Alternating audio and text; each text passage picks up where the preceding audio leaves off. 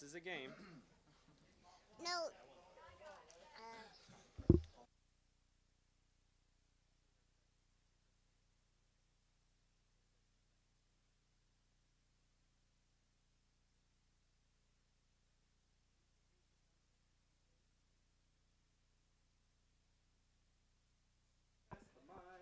Hello again, everybody. David Clary along with Sean Knowles and James Branson here at Bobby Hopkins Field getting set for District 3 baseball action. The Wildcats of Oak Ridge taking on the Halls Red Devils. In the final two district games of a series, we've got one more makeup game to be played against the Powell Panthers a little bit later on next week, but this is the last two game series that the Wildcats have on their schedule. The Wildcats have swept the Karns Beavers, they swept the Campbell County Cougars, they have split with the Central Bobcats, and they lost the first game to the Powell Panthers. Taking a look at the starting lineups for the Red Devils, the leading things off for them will be Colby, and he'll be playing second base. Sorry, David. Who was that? The first guy. Comparado. Comparado. Colby Comparado. Batting second will be the shortstop Cooper Faust. Batting third will be Amari Lethgo, the catcher. Batting fourth will be the center fielder Seth Perry. Batting fifth will be the pitcher Landon Wells. Batting sixth will be the first baseman Cash Centel. The third baseman will be Hayden Housewright today. Batting eighth will be the left fielder Jackson Kitts. The designated hitter hitting ninth will be Rylan Murphy. He'll be hitting for the right fielder Parker Meese. The Oak Ridge High School Wildcats, leading things off and playing center fielder, center field will be Warren East. Batting second will be tonight's pitcher, Mikey Teasley. Batting third will be the catcher, Parker Free. Batting fourth will be the designated hitter, Peyton Witter. Batting fifth will be Cam Welch. Batting sixth will be the right fielder, Richie Ferreira. Batting seventh will be Cy Stevens, the left fielder. Batting eight will be Kai Welch. He'll be playing third base for the Wild, first base for the Wildcats today. And batting ninth will be the second baseman, Alex Frank- Franklin. Designated hitter Peyton Witter will be hitting for the shortstop. That will be Noah Wood. The Halls Red Devils, as their starting lineups are introduced out on the field, they are coming out one by one wearing their all red jerseys with red and blue. The looks like the Navy ROTC group will be doing the colors tonight. The Wildcats will be wearing their all white pinstripe jerseys with cardinal numerals. It's Oak Ridge and Halls here on our YouTube channel, Prep Radio. The Wildcats are coming off of a not a, a winning weekend, but a, a good weekend, I, I think, of baseball when they took on some really, really good teams up in Kingsport. They they won one of the three ball games, losing to a team out of North Carolina, losing to Sevier County, and knocking off the Greeneville Greene Devils, the defending state champions of that classification. Warren East is introduced. He's heading out to his his position in center field as we get ready for Oak Ridge High School baseball. And we appreciate all all of you who watch our, our broadcasts each and every week. If you look at the bottom of the screen, you will see our basketball our basketball advertisers. Those are not our advertisers for uh, baseball. We don't have any, but as we approach the district tournament, we will probably be asking for do- donations because the TSSAA charges for us to stream those ball games. We also have not heard officially from the Halls Red Devils administration whether they are going to allow us to stream from Halls tomorrow or not. Hopefully, we will, and we'll just have the broadcast for you here on our YouTube channel. We're just moments away from Oak Ridge High School baseball. We'll be back to Bobby Hopkins in a moment.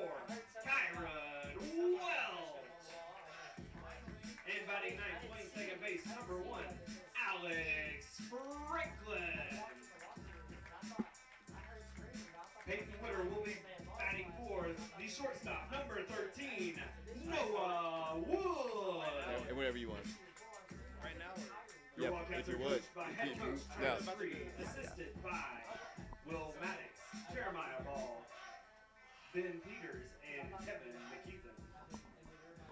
About to have our national anthem here from Bobby Hopkins Field. You would please rise for the presenting of our colors as well as the national anthem.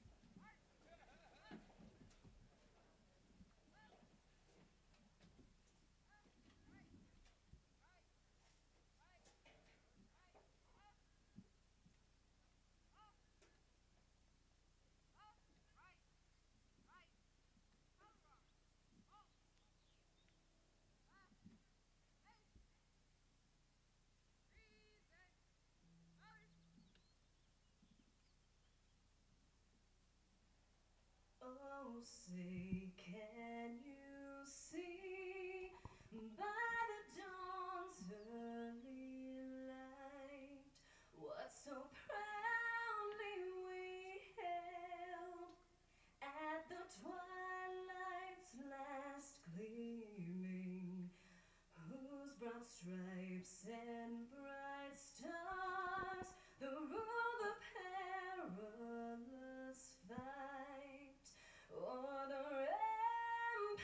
we watched were so gallantly streaming. and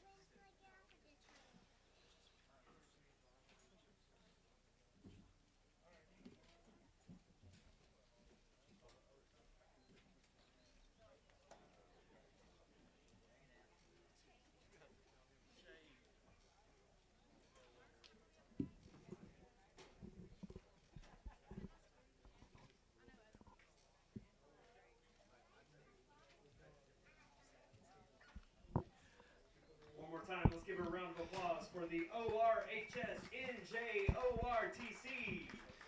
Good job by the ROTC presenting our colors here today at Bobby Hopkins Field. And of course, we couldn't get the game going until Avery Branson said play ball, and she just did. And that means we're about to have baseball here on our YouTube channel, Prep Radio. Mikey Teasley is the pitcher for the Wildcats.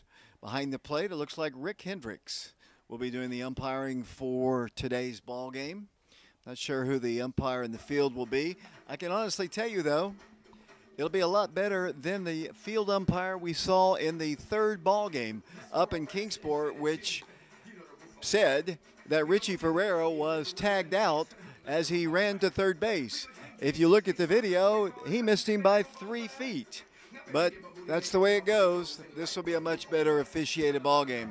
As the two teams get ready, let me turn off my mic because the music is playing. Mikey Teasley is warming up, and we'll be back to Bobby Hopkins with the first pitch in a moment.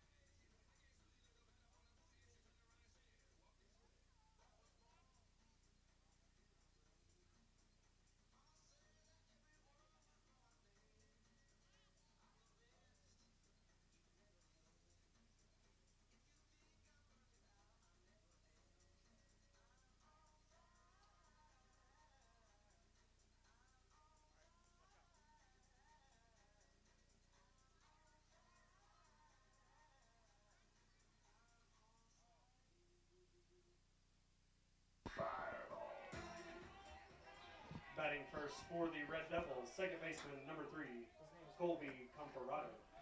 Comparado leads things off for the Halls Red Devils. Mikey Teasley has the sign. The first pitch of the ball game is a bit high and outside, and we are underway here from Bobby Hopkins Field. The Red Devils and Wildcats here from Bobby Hopkins. The second pitch is high and outside as well.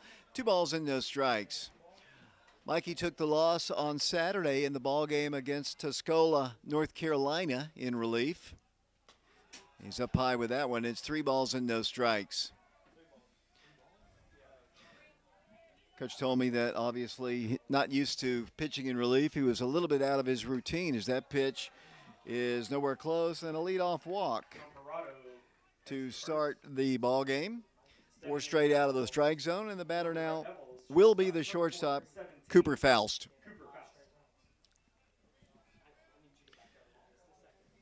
Kevin Steen in the house today. Always good to see Kevin. Runner takes his lead off of first. District ball game from Bobby Hopkins. The pitch. There's a called strike right down the middle at the belt, and the count is 0 1. The Wildcats. Looks like Camden Welch is the first baseman. Second baseman will, will, is Alex Franklin. The shortstop is Noah Wood. The third baseman is Kai Welch. Mikey comes to the plate, breaking pitch. Let's see if they ask for help. They ask for help, and he says no. Swing, and the count is one and one.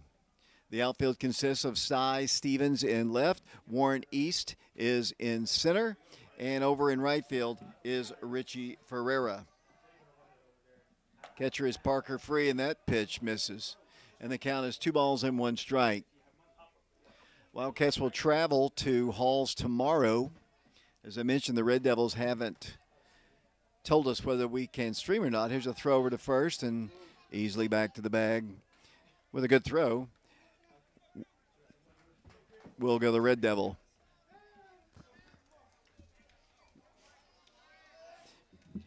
Two balls, one strike. Faust back in the pitch to him. It's outside again. Three balls and one strike. Mikey had a little trouble finding the strike zone here in the early going. He walked the leadoff man on four pitches. He's got a three ball, one strike count on the shortstop, Cooper Faust. Yeah, Mikey seems to just be heading outside a little bit with his pitches here. That pitch is down low and inside. Once again, another walk. Faust takes his base. Back to back walks, and here comes Jeremiah Ball, the pitching coach for the Oak Ridge High School Wildcats. Oak Ridge also coached by Travis Free, along with Ben Peters, Kevin McKeithen, Jason Slay also helps out with the, the baseball team. Conversation taking place out on the mound. Runners at first and second, nobody out as the Wildcats take on the Red Devils here at Bobby Hopkins Field.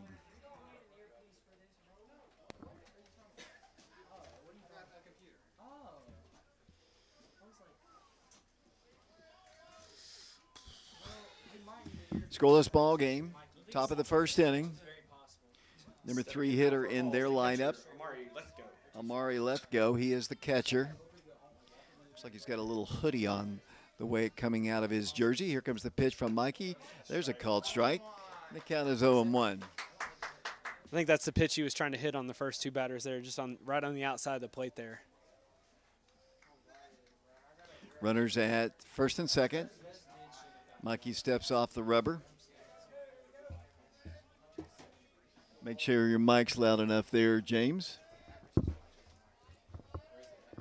One strike pitch. Breaking pitch it on the ground could be two. Noah Woods got one at second and not able to get the play back at first. So they've got him on the corners. And number two, Lethgo reaches on the fielder's choice.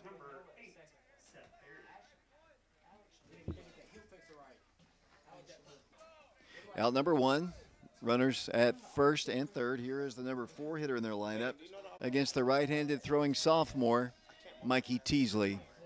He checks the runner at first. He's got a runner at third as well. Breaking pitch. He did swing that time. It's a strike anyway, and the count is 0 1.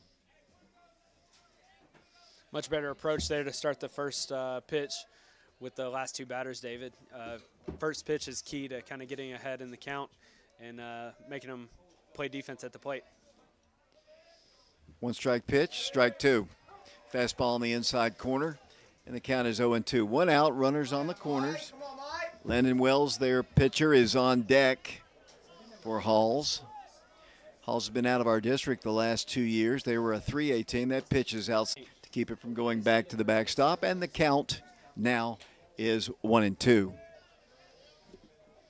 Yeah, Halls, I think, went down to 3A uh, for a little bit of time period, maybe down there playing in Anderson County's region as Mikey's about to come back to the plate. Breaking pitch is hit foul over towards the Oak Ridge dugout, and the count is one and two. Halls has a tough district either way they go there, David. If uh, you know you go down and you play Gibbs, or if you come up and play in our district. Most definitely. Of course, the hardest district is District Four, Yeah, for as sure. we know. One ball, two strikes. Pitch all the way back to the backstop.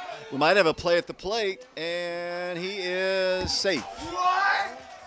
And they have the first run of the ball game. Monkey threw it all the way back to the backstop and in to score. And it's one to nothing. And the Wildcats trail. And all the way over to third will go Lethgo. And we've got a two ball, two strike count on the batter, Seth Perry. I think that tag there by Mikey just missed the hand of uh, Comparado there as he slid into home. It looked like it maybe just a little bit late. Mikey has the sign from Parker. The pitch cut on and missed. And that is the first strikeout of the ball game for Mikey. And the batter now will be the pitcher Landon Wells. One to nothing Halls. Just underway, top of the first inning. Pitcher, number 22, Landon Wells. And James, you know, it's it's always it's never really surprising if you walk if you walk guys, especially your leadoff guy. You know, most of the time they come around to score. It's not a good thing, obviously. Yeah, and I think that's one of the points of emphasis Coach Freeze really had all season as uh, Mikey walked the first two there. Luckily, able to get the second walk, the guy that he walked out at second uh, between Noah and Alex, but um, you know, not a good scenario when you put guys on the on the pond out there. One ball, no strikes. The pitch, fastball in the inside corner for a called strike, and the count is even at one and one. Two outs, runner at third. One to nothing Red Devils as they bat in the top of the first inning. Pitch, cut on a miss. High fastball inside, and the count is one and two. It's a warm day compared to what we had over the weekend up in Upper East Tennessee. Cold, rainy wind. One ball, two strikes. The pitch. Cut on a miss. That is a strikeout, and that is the second strikeout of the inning for Mikey Teasley. But the Red Devils score one time. They do it on two Hawks, a wild pitch, and they leave a runner. We go to the bottom half of the first inning here at Bobby Hopkins Field on our YouTube channel, Prep Radio. The Wildcats trail one to nothing. We'll be back to Bobby Hopkins in a moment.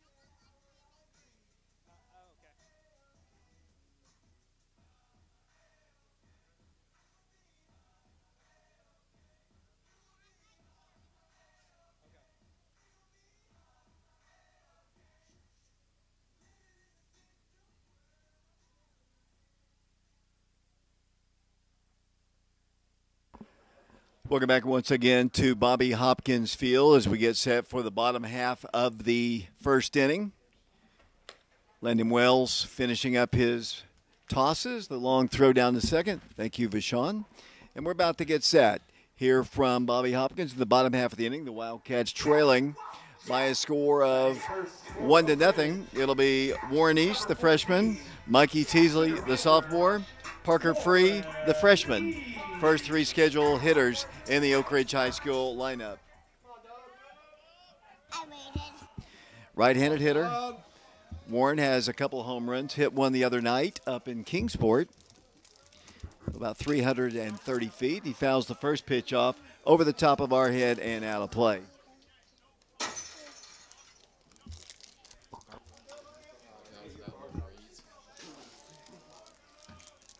No balls, one strike. Warren back in the pitch to him, breaking pitch, stays outside, and the count is one and one. When uh, Warren hit that home run, was that at, at DB or was that at right field? It, it was it was actually we, we didn't play at Dobyns-Bennett. We played at uh, Hunter Wright Field, which is a minor league park. As that pitch bounces at in front of the plate, and the count is two balls and one strike. It was 330 down the lines, 410 to center. He hit his probably, I don't know, just to the left of the foul pole, which would have been about 335 feet or so. It wasn't a cheapie, that's for sure. 2 1 pitch, ripped foul down the left field line. And the count is even at two balls and two strikes. You can really tell the pop that Warren has in his bat, and it's really impressive too that he's only a freshman and able to really do some damage here so far in the season. It's not that he's just a freshman, he's not very big either. Where that power comes from is that pitch is inside, and we've got a full count now three balls and two strikes.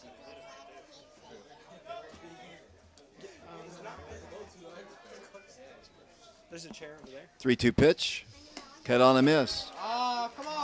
And that is a strikeout, and that is out number one here in the bottom half of the first inning. And the batter will be the pitcher, Mikey Teasley. Mikey brings umpire Hendricks some new baseballs, which he deposits into his baseball bags on his left and his right hip. As Mikey steps in for the Wildcats, right handed hitter. Gave up a run in the top of this inning. Wants to get things started here, and the pitch is a called strike on the breaking pitch. No balls in one strike, one out, nobody aboard. Mikey back in, the pitch to him, hit in the left field. That's a base hit. Ball was hit so hard, I thought initially the third baseman might be able to catch it, but the ball whistled past him, and that's the first hit of the ball game. And the Wildcats have Mikey aboard with one out.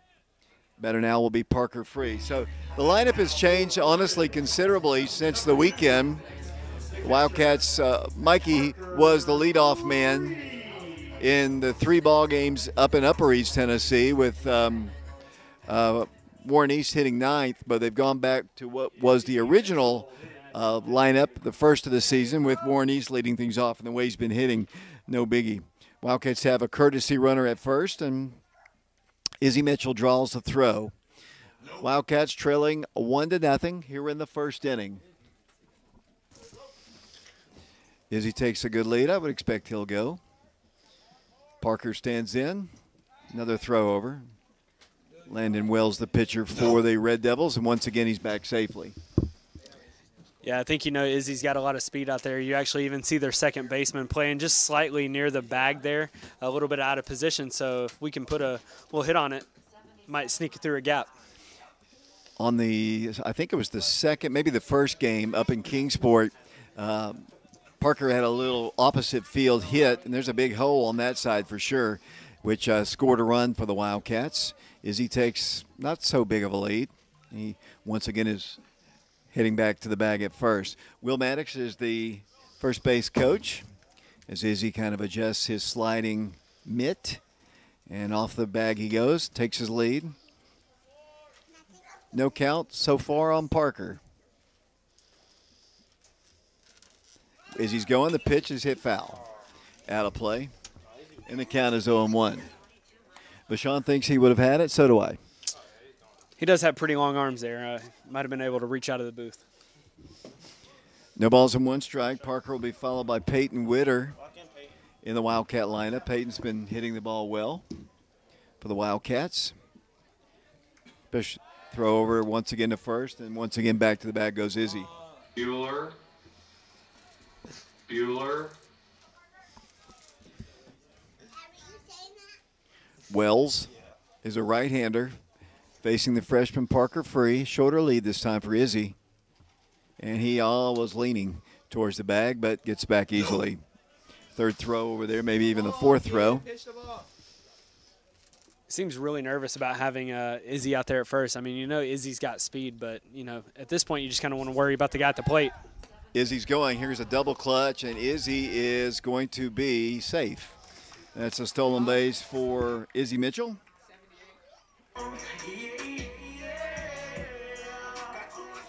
And so the Wildcats have the tying run in scoring position. And a no ball, two strike count, or actually a two ball, one strike count on Parker Free. As he takes another big lead off of second. Wells checks him. The pitch. Breaking pitch on the inside corner. And the count is even at two balls and two strikes. That's a great pitch there, David. You gotta. I know it seems like it's coming right at you, but it's a pitch that you got to hang in there on, and uh, you know if it's gonna hit you, let it hit you and wear it. If not, you know, put a bat on it and let it rip. Peyton's in rare form down there. He's kind of vocal today. Two balls and two strikes. See if as he hit, heads towards third, he looks like he's leaning that way, not going.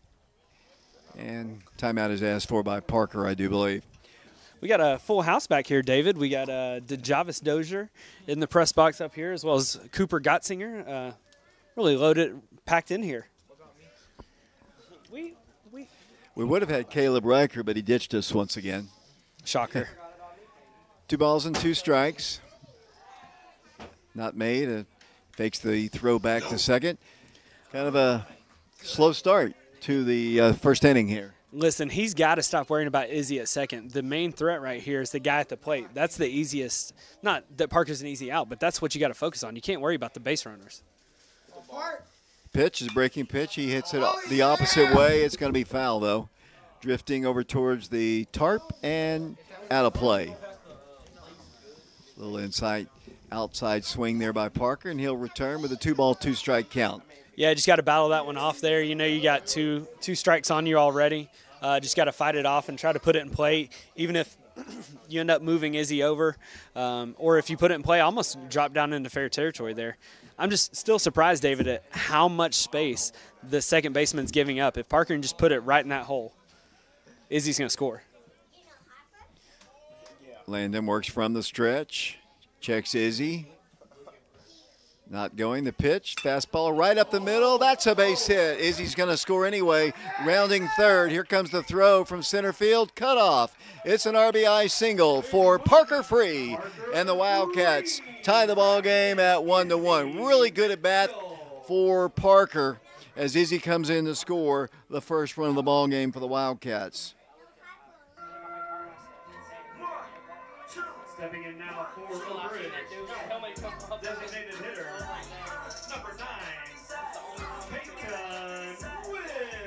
Peyton Witter is the batter. He is the designated hitter today. He's hitting for Noah Wood, who is playing shortstop.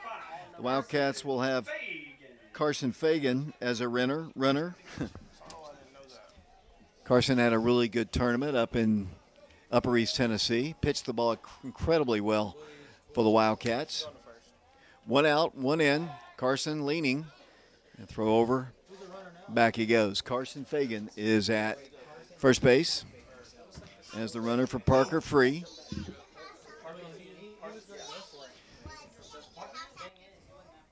One one our score.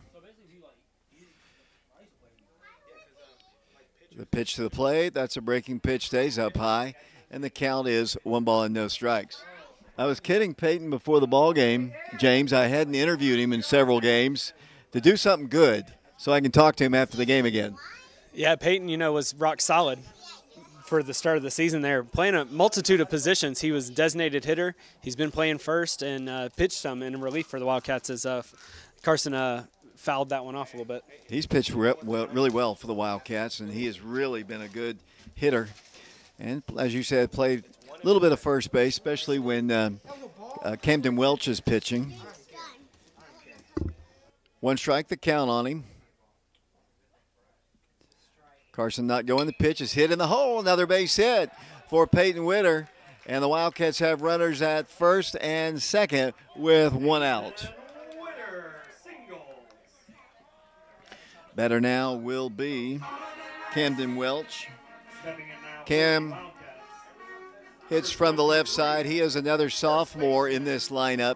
He kind of struggled at the plate a bit in the Upper East Tennessee tournament. It'd be great to see him break out of it once again. We know he can hit. He just kind of struggled, and all hitters, good hitters, go through it. He just couldn't find a hole in Upper East Tennessee in the three ball games. Runners at first and second.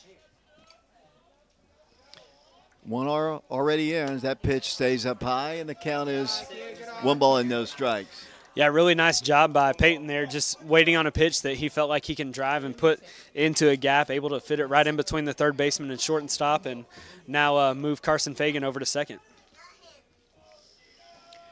Cam back in, one ball, no strikes to him. He tries to get Carson Fagan back to the bag, and he doesn't throw it, but he does do the work. He got back to the bag, and the Wildcat, Camden Welch, will step back in. One ball, no strikes, one out, one in, one to one our score. We're in the first inning at Bobby Hopkins. Pitch, that's a little bit down low, and the count is two balls and no strikes. Yeah, I'm not sure. I mean, I know Carson's got a little bit of speed out there, but I'm not sure why he's worried so much about the runners on the base pass. You got to let your defense make the plays if that's the case. If the ball's hit out there. he's been worried about all the base runners, and and since then he's given up hits, three straight hits. That pitch stays up high, so he's. You're exactly right. He's been more concerned about the runners, and he's given up three hits, and he's about to walk Cam Cam Welch. Three straight, three straight singles and three straight straight balls to Cam here, and uh, he could very easily have the bases loaded and be in some real trouble here in the, early in the first inning. Once again, he. Yeah, Vashon, it, Vashon just reminded me of something. When we were at Bearden the other day, uh, this UT commit, he was more worried about the runners, and that's when Warren hit the home run off of him. He was he was so worried about the base runners.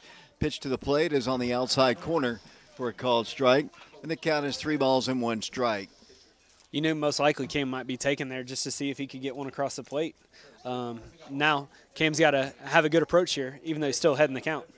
You know, James, I saw one of the most horrendous plays an umpire made ever the other day. Here comes a throw, and Carson easy back to the bag. Don't don't get Richie Ferreira started on on this play because he was absolutely 100% right. Uh, they said he tagged him out as he was heading towards third. The tag missed him by three feet. Easy. There's ball four. And Cam's walk loads the bases, so the Wildcats will send to the plate Richie Ferreira. I can tell you, Richie was incredibly frustrated, as were the Wildcats. It was a big, pivotal play in the ball game.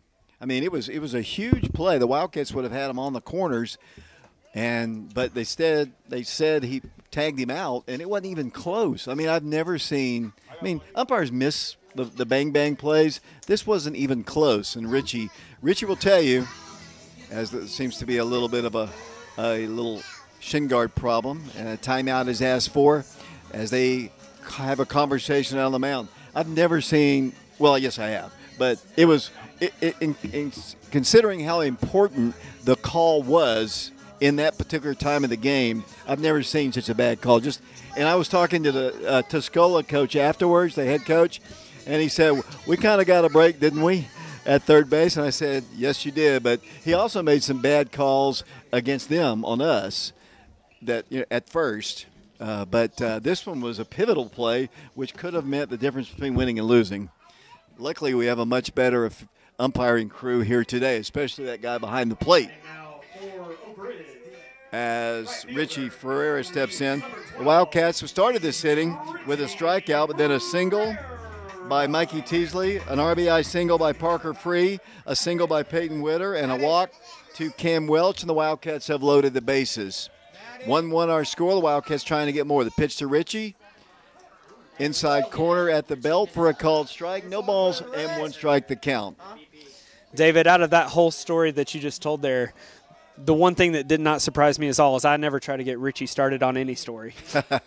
Yeah, I mean, you didn't have to get you don't have to get him really started on this one. He'll probably bring it up. There's a breaking pitch that stays outside, evens the count at one ball and one strike because he was dead right on this one. You know, he he's a, he might tell he gets a little excited. he does, but he was dead right on this one. He was absolutely uh, justified. One one pitch, breaking pitch, fouled off his foot, and the count is one and two. You know, that's one thing you like about Richie, though, is like he plays with such passion and he wants to go out there and make a play or make a big hit. So um, you do appreciate that about Richie. Like I said, the the opposing coach knew that there was a bad call, but oh well, that's that's the way it goes. One two pitch to Richie, fastball, cut on and miss. The Wildcats are going to try to get a run in, and they will. Oh, it's a strikeout, but it bounced away from the catcher far enough for Carson Fagan to come in to score a run. It's a strikeout of Richie Ferreira. Cy Stevens is the batter. Cy really had a good tournament up in Kingsport and in Johnson City. We played first two games in Kingsport, the second game in Johnson City. But he hit the ball well, he pitched the ball well. Just a really good overall performance, and he stands in for the Wildcats. He's the left fielder for Oak Ridge. The Wildcats take the lead, two to one. Izzy Mitchell, Carson Fagan scoring runs as courtesy runners. Runner at first is Camden Welch. Runner at third, Peyton Witter. The pitch, outside corner for a called strike, and the count is 0 1.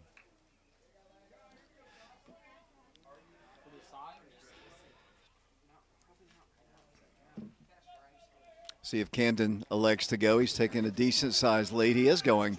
Pitch is high. Here's the throw. It's way off the mark, and the Wildcats have a stolen base.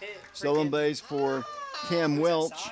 And the Wildcats now have two runners in scoring position, two runs in, and a one ball, one strike count on Cy Stevens. The throw there, a little surprising that it was off and over toward the second base side there for uh, the Halls catcher. He's their quarterback. I think he's a little upset with that pass ball on the third strike as that pitch is hit foul over the top of the press box and out of play. The count is one and two. He's probably still hitting himself because when Richie struck out, the ball bounced away and that allowed Carson to score. I think he might be just kind of kind of upset with himself. Yeah, and unfortunately for him, that goes down. I would put it as an E2 there on the pass ball, basically. One two pitch, low and inside, evens the count at two balls and two strikes. Cy will be followed by Kai, Kai Welch, Kyron, his full name. Cam Welch, his first name is Camden, but we call them by their abbreviated names. Two balls and two strikes. The pitch, breaking pitch, fouled at the plate. Got a piece of the catcher, and Rick will give him a little opportunity to uh, get settled and get his uh, pain eased a bit. The count is two balls and two strikes. Good job. Sportsmanship by Cy goes over the catcher. Obviously, it's a foul ball. He didn't mean to do it, but he little fist bump between Cy and the catcher, and good sportsmanship. Yeah, and uh, you know you'd love uh, if Cy could come with come up with a big uh, hit here. Maybe just hit the gap, and um, you know add on these two more runs. Uh, you don't want to leave anybody on the bases on the base pass. Uh, you want to take advantage as many of the opportunities as you get. Two balls and two strikes. Runners at second and third. Two runs in for the Wildcats. Wells trying to dispose of Cy. Breaking pitch almost hit him, almost hit him in the shoulder. And I believe the count is full. Full count, and that's the same pitch that he tried to throw to Parker and uh, got it called a strike. That uh, when Parker was up at bat, Cy just it was a little place too much inside for Cy. Three balls, two strikes, two in, Two on. The pitch, breaking pitch hit in the air, left side, deep. Left fielder back on it to the fence, to the wall, to the trees. Home run! Cy Stevens takes it yard here at Bobby Hopkins Field. A three run home run that just kept going, and the Wildcats now lead it by a score of five to one.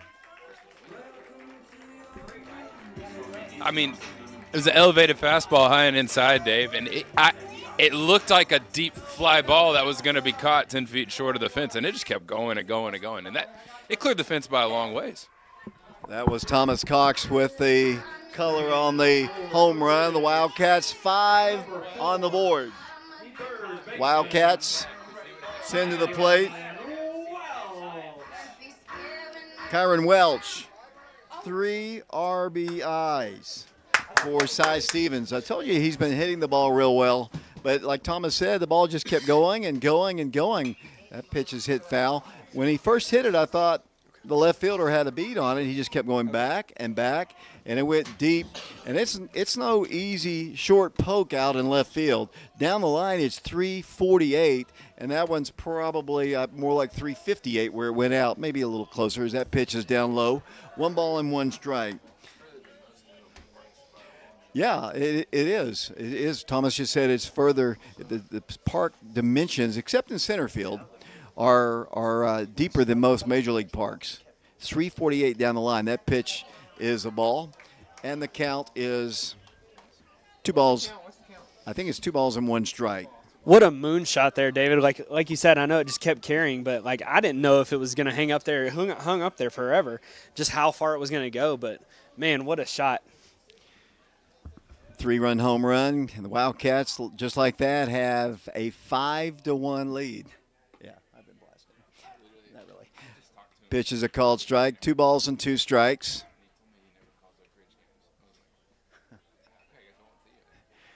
Two outs, nobody on. Five in for the Wildcats. The pitch, way outside. Three balls and two strikes. Oh, Number nine hitter Alex Franklin is on deck for the Wildcats. Boy, he's working quickly now. 3 2 pitch, cut on a miss. And that is a strikeout, but the damage has been done here in the bottom of the first inning. The Wildcats score five times. RBI singles by Parker Free. A wild pitch resulting in a run and a three run home run by Cy Stevens, and the Wildcats lead it by a score of five to one. We're on our YouTube channel, Prep Radio. We appreciate all of you watching our broadcast today. We will be back to Bobby Hopkins Field in a moment.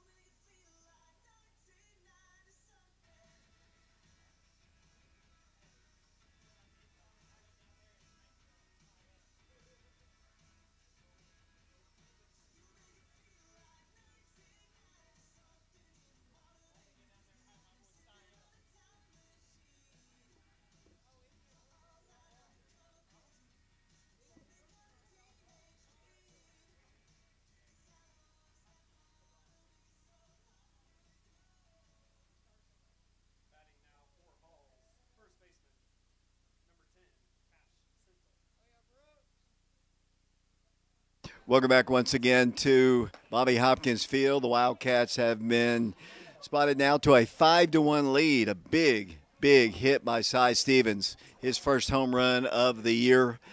As the Wildcat Mikey Teasley is back out on the mound for his second inning of work, and he's got a one ball, one strike count on the leadoff man this inning for them. That is Cash Centel, the first baseman. Mikey struck out the last two batters he faced. Good breaking pitch there, and the count is one and two.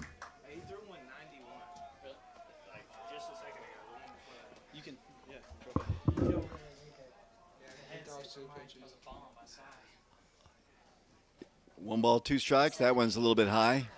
You, you know, James, uh, Brian Leffler, our trainer's a little cheap to put stamps on on on uh, invitations. His wedding invitation that he just handed to me. Hey, listen, I, I understand. You got to save on those postage stamps. Stamps are going up, David. When is that date? That'd be June 8th, David. You're nervous, aren't you? At least I remember the date as of now. Well, that's good. I'm sure Ha- Haley's going to be really happy if you show up. I, I know she will be. Three balls and two strikes. David, don't you have laundry that day? I probably do, as that ball is ripped to center deep. Center fielder Warren East back to the 357 sign, but he makes the catch right in front of it for out number one. Stepping in now for Better now for the Red Devils will be the third baseman Hayden Housewright, right-handed hitter.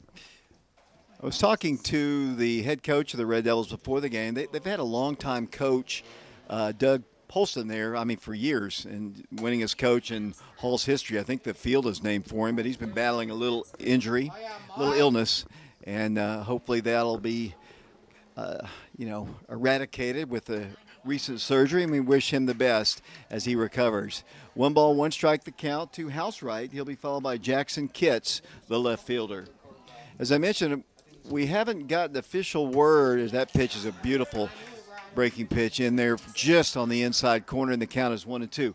We haven't gotten official word from Halls yet if they are going to allow us to stream tomorrow. Hopefully so, as that pitch is hit foul. Another breaking pitch hit off to the right side towards the city service building. 5 1 Wildcats. Oak Ridge in the lead. Halls batting in the second inning. The pitch hit again, foul off to the right.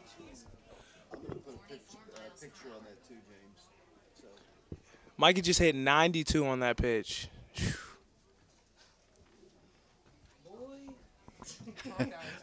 Thanks, Vashon. Breaking pitch hit up the middle, one hop into center field, and that's a base hit. Couple hard hit balls to start the second inning, and they've got a runner at first base with one out, and the left fielder, Jackson Kitts, will be the batter. Kitts is the eighth hitter in their lineup. He'll be followed by Rylan Murphy, their designated hitter. Runner at first, five to one Wildcats district ball game. The Wildcats will play Halls again tomorrow, 5:30 at Halls. That pitch, oh, belt high. I don't know, I don't know, Rick. That that looked pretty good. One ball, no strikes. The count. I shouldn't call him by his first name. one ball, no strikes. Oh, There's the makeup call. Evens the count at one ball and one strike. It was on the outside corner. It was a strike. One ball, one strike, the count. Runner at first. Mikey Teasley comes to the plate. Cut on him, foul tipped, and the count is one and two. James, did you see Marcel's home run to win the ball game the other night? Yesterday? I uh, saw the highlights of it, David. I was uh, displaced at the University of Tennessee watching a cheerleading thing. Oh, that sounds fun. That fantastic. pitch is on the outside corner, and that is the third strikeout of the ball game for Mikey Teasley, and that's out number two, and the number nine hitter will come to the plate for the Red Devils, and that'll be the designated hitter Rylan Murphy.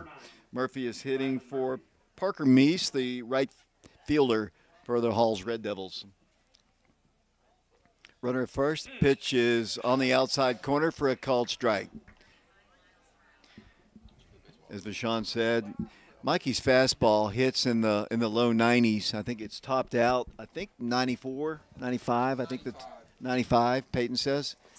Pitch bounces away, and they'll have a runner at second. Housewright advances to second.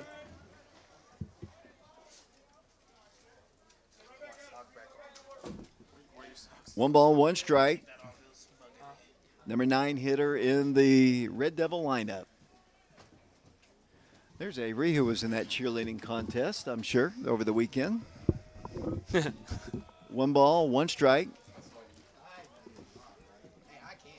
I was going to make a joke, but uh, I'll be nice to my eldest son. Uh, I'll be nice to him too. One ball, one strike. The pitch, breaking pitch. Oh, really good looking pitch. Must have been a little inside, and the count is two balls and one strike.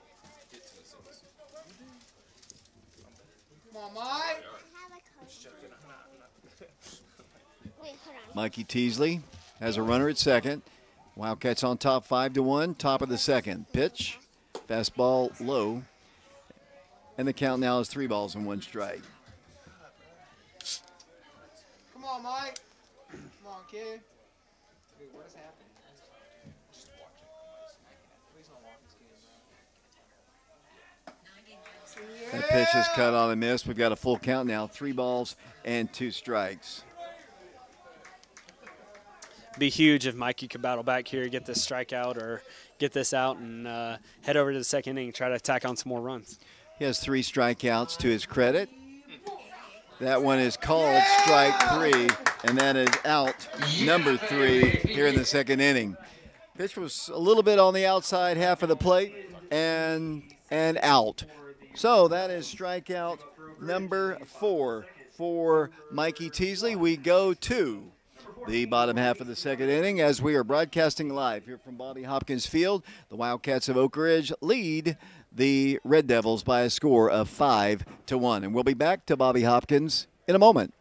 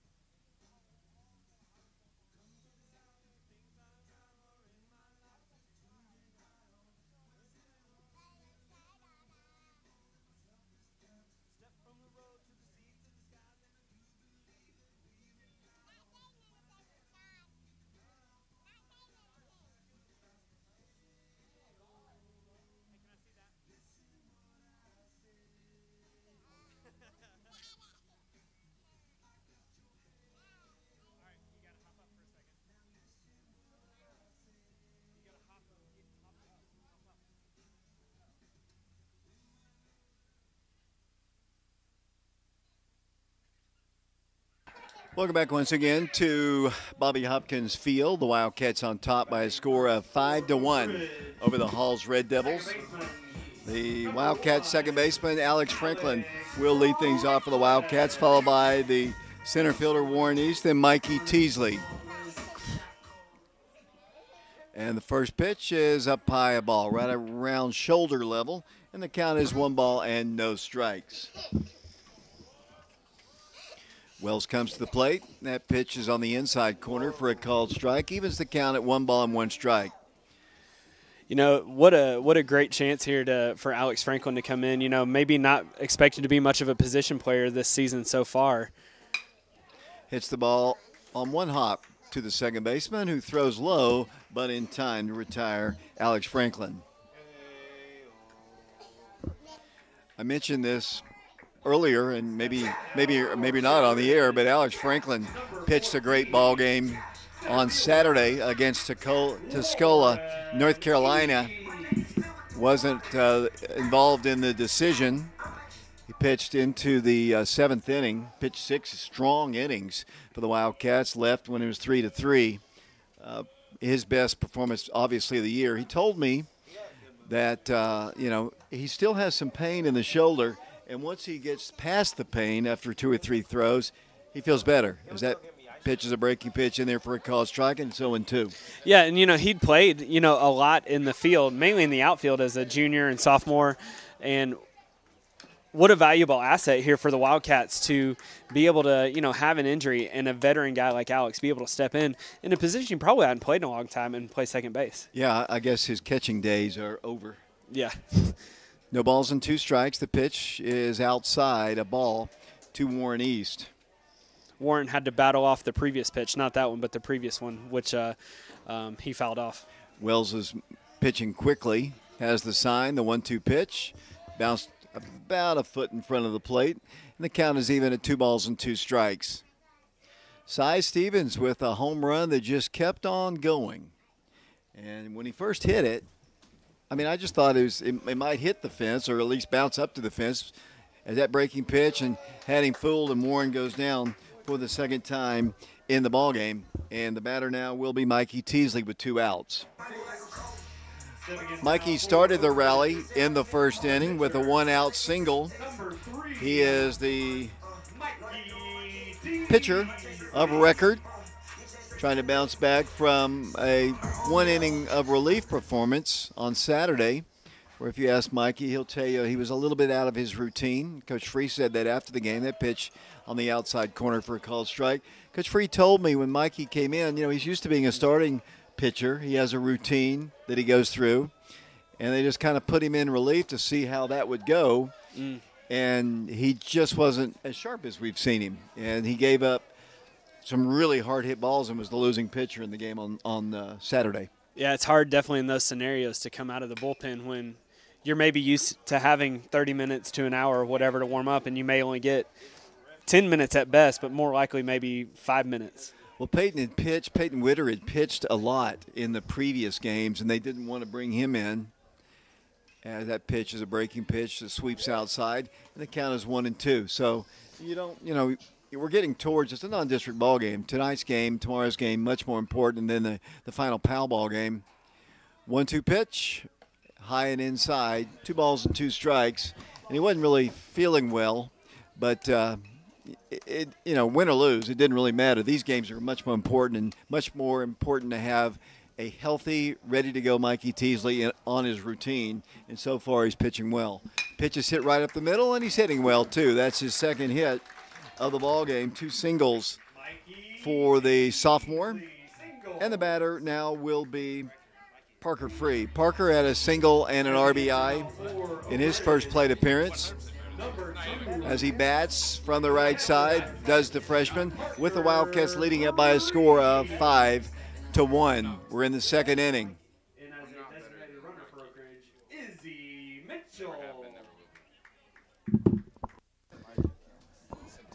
David, I uh, I was thinking as you were talking there, have you seen a Oak Ridge lineup that has had as much power as this team kind of dis- has seen to display so far this year? Not recently, as that pitch is up high. There were some teams, those teams back in the 90s, they had some power. I mean, all, all those guys could hit, uh, but here recently, no. I mean, the guy sitting next to me hit a few home runs in his career. That would be Thomas Cox. That pitch is slow. Here's a quick throw and back to the bag. Oh, they call safe on Izzy Mitchell. Thomas, how many total home runs did you hit? I hit three. Uh, my junior year, I hit two in one game, I remember that. and then my senior year, I hit one. It was in that uh, that tree in left center. I remember that. Livingston Academy. All- All on a bad shoulder, too. Bad everything. one ball, one strike. Izzy takes his lead off of first. Parker back in. Izzy draws another throw. Back to the bag he goes. Where are your kids today, Thomas? They are at my parents' house right now. Okay. So you're going solo today? Uh, Maddie's down there hanging out with Kevin Steen. They graduated together, so they're they're catching up. Yes, yes, you did. Ball bounces away, and all the way down to second will go Izzy Mitchell. David, I have a uh, I have a, uh funny story about uh, Thomas's oldest sister. Um, Let's hear it. so, m- my family enjoys eating at Chick Fil A, as well as I would assume his oldest sister does, who has a young child. My youngest son walks up to, as Izzy stealing.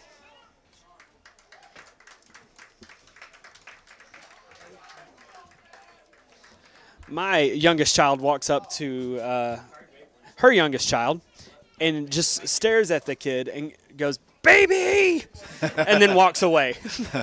Oh, that's funny. Izzy's at third. Pitch to the plate is high and inside, and Parker walks. So Parker's been on base twice today. He had a single and an RBI his last time. Batter now will be Peyton Witter.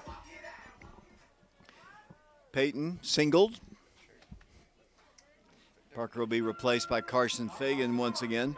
Carson scored a run running for Parker earlier. Parker telling Peyton something about the pitcher. And the Wildcats once again with a rally here in the second. It's five to one our score. Coach Free telling Carson what he wants to do. Let's see if they put on one of those first and third plays. I doubt it with a good hitter up. That pitch is hit foul. Drifting off to the right side. The first baseman can't quite get to it. And the count is 0 1.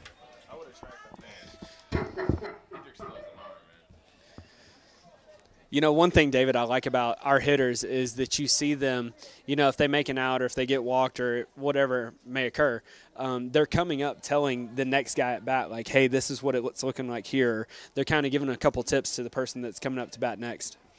Especially Parker. Parker's he's so such a baseball mind growing up with his dad, obviously. He thinks baseball all the time, maybe a little football occasionally. One strike pitch. Ooh, I don't know. A little outside, but called a strike, and the count is 0 2. Carson advances down to second base, so the Wildcats once again have two runners in scoring position. There are two outs, though. Peyton had a single his first time around. Pitch to him. A little low. Izzy broke towards home, but the ball didn't bounce away that far. And the count remains at one ball and two strikes. There is one ball and two strikes. We're kind of dragging a little bit, but Sean, you having fun? Yeah, yeah, yeah. Yeah, why do we let him talk? That ball is hit on the ground softly, third base side. Takes his time, throws in time for out number three. Wildcats pick up a couple of base runners. They leave them stranded. We go to the top of the third here at Bobby Hopkins. The Wildcats lead it by a score of five to one, and we'll be back to Bobby Hopkins in a moment.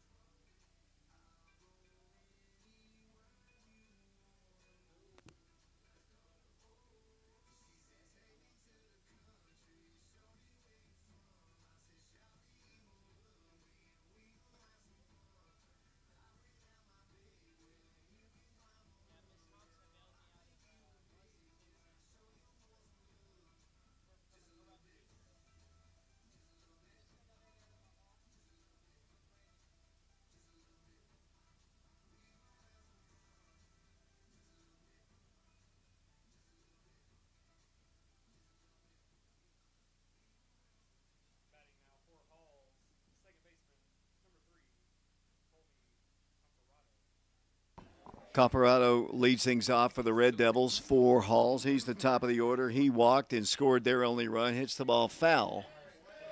Out of play, and the count is 0 1. 5 1 our score. Third inning from Bobby Hopkins. Beautiful day.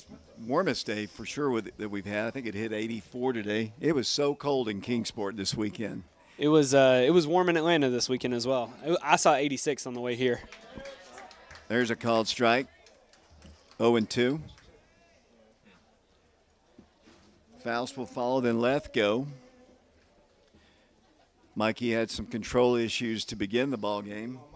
Has struck out four to this point. The last two batters of each inning. Pitch is high and tight. One ball and two strikes the count. The first two batters. Ain't the first, the, when his first pitch was a strike. Bro, what ice cream do they get me with marshmallows in it? Nobody asked for marshmallows. That would be Rocky. Who brought you the ice cream? That would be cream? Rocky Road ice cream there, Rashawn. One two pitch gets away, and it's two and two. Who brought Vashon the ice cream? Oh wow! Rocky Good Road job. ice cream. Did Javis not want to bring us any?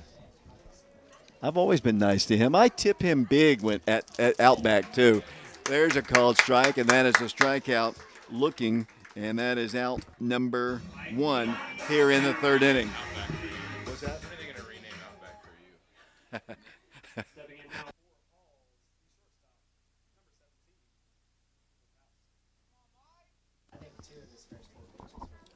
One out here in the third. Five strikeouts now for Mikey. Or-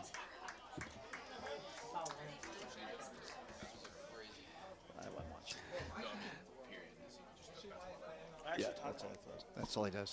That pitch is inside. A little bit of movement there, I think, is what Thomas was talking about in the last couple pitches for Mikey. You know, a lot of times you get just straight speed or maybe a slider from him, but switching it up here with a little movement. 1 1 pitch, hit foul off to the right. Thomas, what's your thoughts on uh, Spencer Strider's injury? I'm devastated by it, but it feels like it's more of a norm and it's happening very. I, I saw a, blurb today about all the All Star pitchers who are currently out and on the um, the IL. I was talking to Donnie Sharp about it maybe six or eight months ago, and he was talking about how much stronger people are coming back from those surgeries now. But is this this is his second one, right? Which that's a little intimidating to me.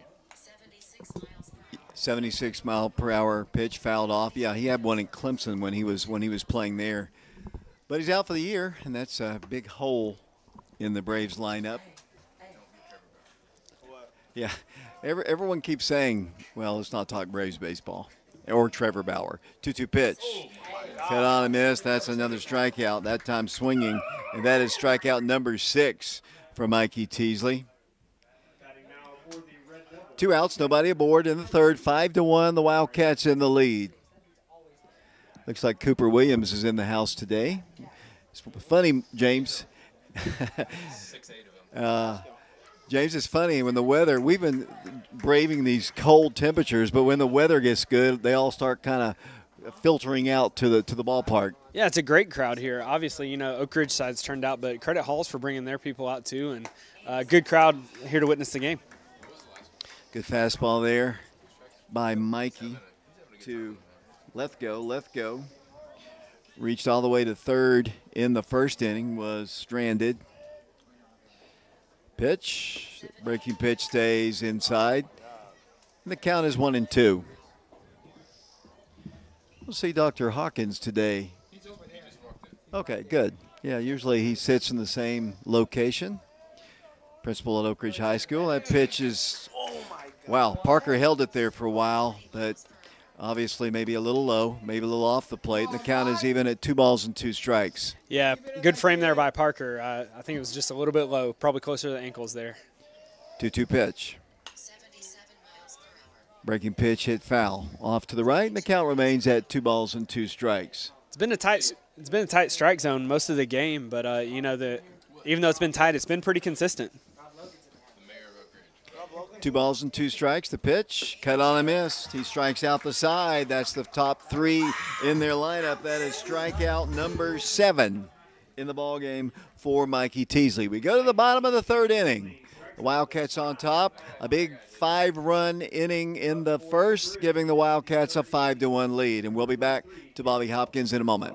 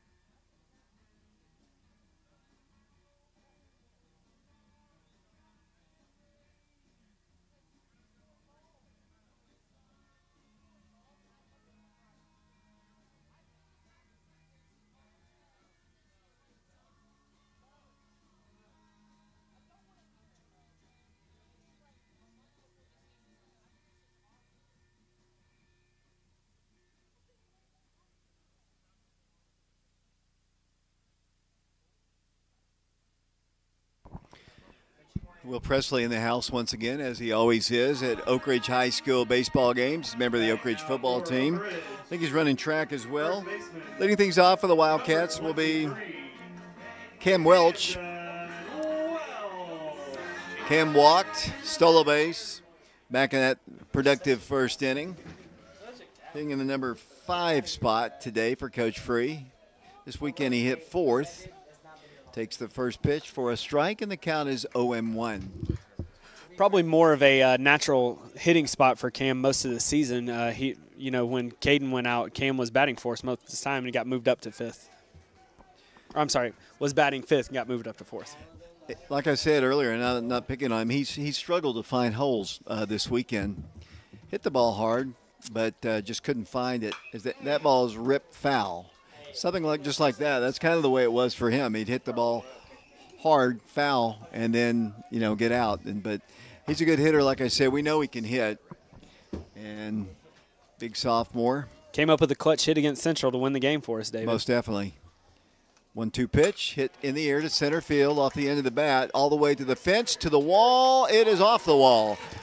Camden Welch will head towards second with a sliding double. That ball just kept going to the deepest part of the park. 357 feet from home plate, but just not quite enough to get out, but still a nice hit, Thomas. There's something about it today. Maybe it's the 86 degree weather, but the ball's jumping and it's it's carrying as well. I, that I'm with you. I thought it was off the end of the bat, and it had a lot more pop than we realized. Yeah, I'm looking at the flag. The, the wind's not blowing at all, but the ball has been carrying for sure. That is a, a double for Cam. Good start for the Wildcats in the bottom of the third. The batter is Richie Ferreira. Richie 0 for 1 in the ball game. Strikeout victim. He calls time, steps out of the box. Wells not too happy about the time being granted. He was about ready to throw to Richie. Camden takes his lead off of second. Nobody out. 5 1 Wildcats. Sean doing camera work today. Ball is hit foul. Out of play to the left. Here we go once again. once again, David. Uh, the pitcher's worried about Cam over at second again. More worried about that, and he's kind of not throwing the first pitch up there. It was not great.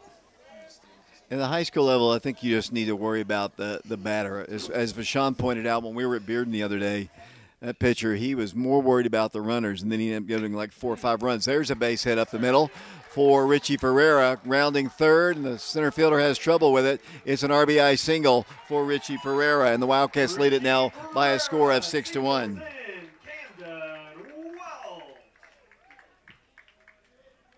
Cam scores run number six for the Wildcats, and he's the base runner at first for the Wildcats. He was a strikeout victim his first plate appearance. Really good job of hitting, just hit it right back where he was pitched, and the Wildcats have another run on the board. It is six to one, Oak Ridge.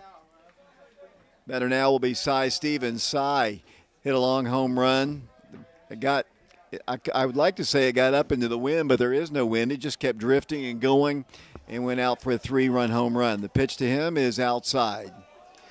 But he, he had a really good tournament up in Kingsport, uh, as I said, not only hitting, but he, he also uh, was really good on the mound for the Wildcats. Is that uh, Richie that you're talking about there? No, I was talking about Cy. Cy. Cy's still mad about that ball is hit off the end of the bat. This time shallow. Center fielder on. Can't make the play. Might have a play at second on a fielder's choice. And he does. And that's a tough break for Richie Ferreira. He the ball was hit off the end of the bat. The center fielder at first looked like he was going to catch it. Richie kind of had to go about halfway, and by the time the ball dropped, he didn't have enough time to get to second, and is on with the fielder's choice.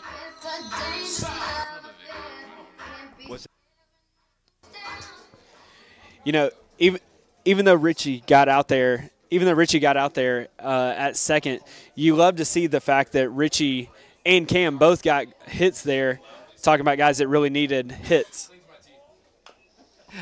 I'm having two conversations at the same time as that ball is hit foul off the bat of Kai Welch. I was just babbling and covering for you there, David. Well, Thomas was telling me about Brady Hull, who is now a dentist who used to play football and baseball for the Wildcats. And back in when Thomas was playing, Thomas is very humble about his career. Thomas, I think, still is the hit leader at Oak Ridge High School. I, think, you know, I got to watch his whole career. As that pitch is hit in the air, deep to center, not quite as deep, going halfway this time. The ball is caught right at the fence and and Sias returned to first base. J- James, I'll let you do the PA, but. I was going to say, as the music plays loudly, I was going to say that the ball, the ball is carrying big time here today, and the wind's not even blowing. Yeah, and the Wildcats are putting the bat on the ball really well, making really good contact. And, uh, you know, that's what I was pointing out there is two guys that you love to see get hits. Uh, Richie driving in, Cam, and Cam obviously being on base, guys that we'd love to get going. Here comes a bunt coming back our way. Almost took out some young lady sitting in the bleachers. The count is 0 1. What? I'm not even, I don't, there's no way I can explain that, James. You know? That's an inside joke. Speaking of uh, hamburgers, Maddox, that looks good. Yeah. Has Maddox free. One strike to pitch. Cy takes his lead off of first and draws a throw. Question, Maddox, says, Will you be a better baseball player than your brother Parker? Yeah. He says yes. Very confidently. Hey, that's okay. Confidence is a good thing. You know, I found out that uh, Hayden, their middle brother, is the only one that pitches out of the three of them. Really? When I get a chance between hamburger bites, and that ball is hit to the third baseman, bounces over towards the shortstop, safe. He calls him out. Bang bang play at first, but Alex Franklin is out. He thought he was safe, and he reacts a little bit, and he'll return to the second base area and play second base for the Wildcats. The umpire stares him down as the third inning comes to a close. The Wildcats put a single run on the board. They now lead the Red Devils six to one. We'll be back to Bobby Hopkins in a moment.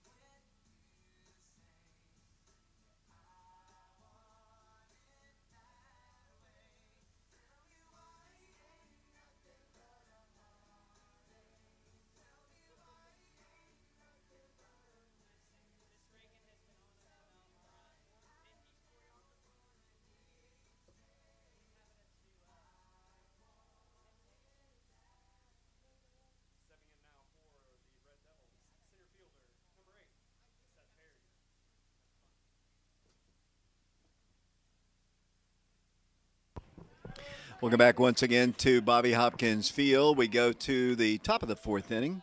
It'll be the four, five, and six hitters in the Red Devil lineup Seth Perry, Landon Wells, Cash Centel. And I'm going to ask Maddox why he doesn't pitch while your your middle brother, your older brother does, and Parker doesn't. Because I, me and Parker don't pitch that great. Okay, that pitch is a called strike. And the count is 0 and 2. Seven strikeouts in the ball game already for Mikey Teasley. As he comes in, cut on a miss. That's number eight. Mikey heating up here. He looks so much more confident today, with his fastballs has been electric. His his breaking pitch has been fantastic. With the exception of that first inning where he had a little bit of control trouble, he has really been on his game, and that's out number one in the fourth inning. Six to one, the Wildcats have the lead. I have uh, I have six straight strikeouts, I believe, for Mikey Teasley now. I think you're exactly right. And that is out number one. And that breaking pitch cut on a missed. And as I said, James, I don't know if you heard me, but with the exception of the first inning when he had some control issues, he has been spot on since. Absolutely, you know. And uh, his coach, Jeremiah Ball, I believe, came out there and the pitching coach came out and talked to him, kind of calmed him down, and ever since then he's been on point. It makes the job easier for the home plate umpire. One one pitch, cut on a miss, one ball and two strikes. Didn't make the job easier for the field umpire a moment ago on that Alex Franklin grounder. You mean the fact that he was safe, David? Yes, most definitely. But that's baseball, I guess. One two pitch is high and tight, and the count is even at two balls and two strikes. Nothing compares to the Richie Ferreira play, though, on Saturday. Nothing. Maybe we should ask him about that. Uh, I don't. Uh, he'll probably send him up here to have me interview him after the game. But that'll be the only thing he talks about. There's called strike three, and that is strikeout number nine for Mikey Teasley. And as James said a moment ago, that is now seven straight batters that have gone down to Mikey Teasley's curve or fastballs. He has been spot on today here at Bobby Hopkins in this district ball game with the Wildcats on top, six to one. What a luxury to have a guy like this on your staff as a sophomore that throws in the low 90s, has a breaking pitch, which is fantastic. A fastball there. How fast was that, Peyton? It was 86. 86 miles per hour. And the count is 0 and 1. That's not on the schedule. Pitch. Bounce to the plate. You can hear Mikey not too happy with that one. Kind of bounced a bit. And the count is 1 and 1. Yeah, the Wildcats really have a nice one-two punch with their starting pitchers. Both of them sophomores, you know, give you different things. Obviously, Cam's a lefty and Mikey's a righty, but Cam gives you a little bit more movement. But Mikey's just going to come right at you and attack you. Pitch cut on and missed. And he's ahead once again. One ball. One ball and two strikes. Camden Welch is the first baseman. Alex Franklin, the second baseman. Mikey Teasley almost got a strikeout. Another strikeout there, foul tipped, but Parker couldn't hold on. Parker Free is the catcher. Noah Wood is the shortstop for the Wildcats. Out at third is Kai Welch, Cy Stevens in left, Warren East in center, Richie Ferreira in right field. Mikey Teasley working in his fourth inning of work, trying to strike out the side for the second consecutive inning. You know, I was just thinking back, you know, we've seen Carson Fagan in the game a little bit here. As Mikey strikes out yet another one, and uh, that is his eighth in a row, I believe, David. Yes, eight strikeouts in a row for Mikey Teasley. And the Red Devils go one, two, three again. We go to the bottom of the fourth inning here at Bobby Hopkins Field in Oak Ridge on a beautiful day in East Tennessee. The Wildcats lead the Red Devils of Halls High School by a score of six to one. And we'll be back in a moment.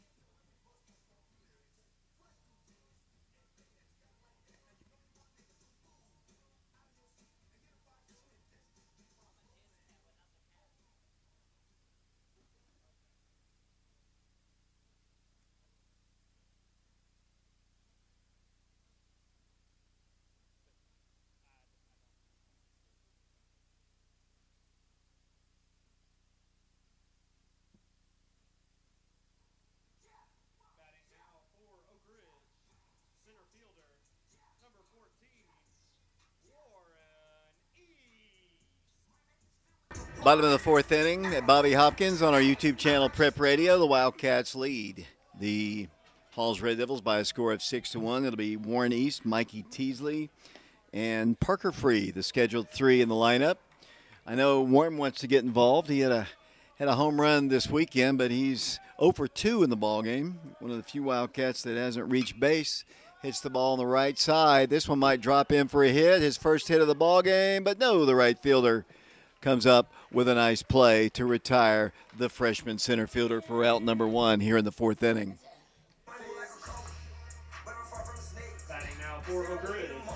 Mikey Teasley is the batter now. Mikey. Mikey is two for two in the ball game, two singles, and his runner, Izzy Mitchell, has scored a run has a couple stolen bases, and he swings and he misses, and the count is 0-1. As I said, we will play Halls again tomorrow at 5:30 over at Halls. I have not gotten permission yet to stream it, as that pitch is a ball, and the count is one ball and one strike. Only team around here that does not allow us to stream is Powell.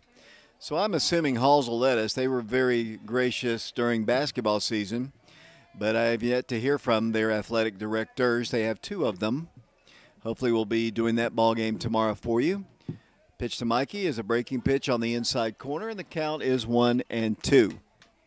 Ten strikeouts in the ball game for Mikey Teasley. Eight consecutive strikeouts as that pitch is outside, and the count is two balls and two strikes.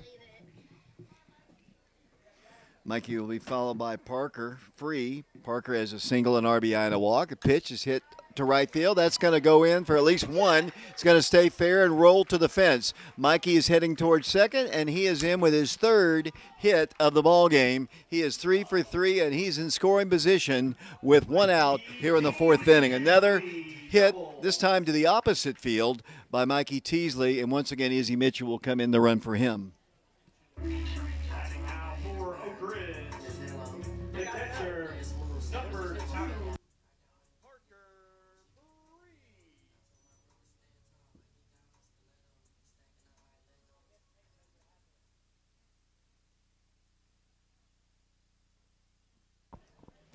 Put a little joke in there for that one, did. David.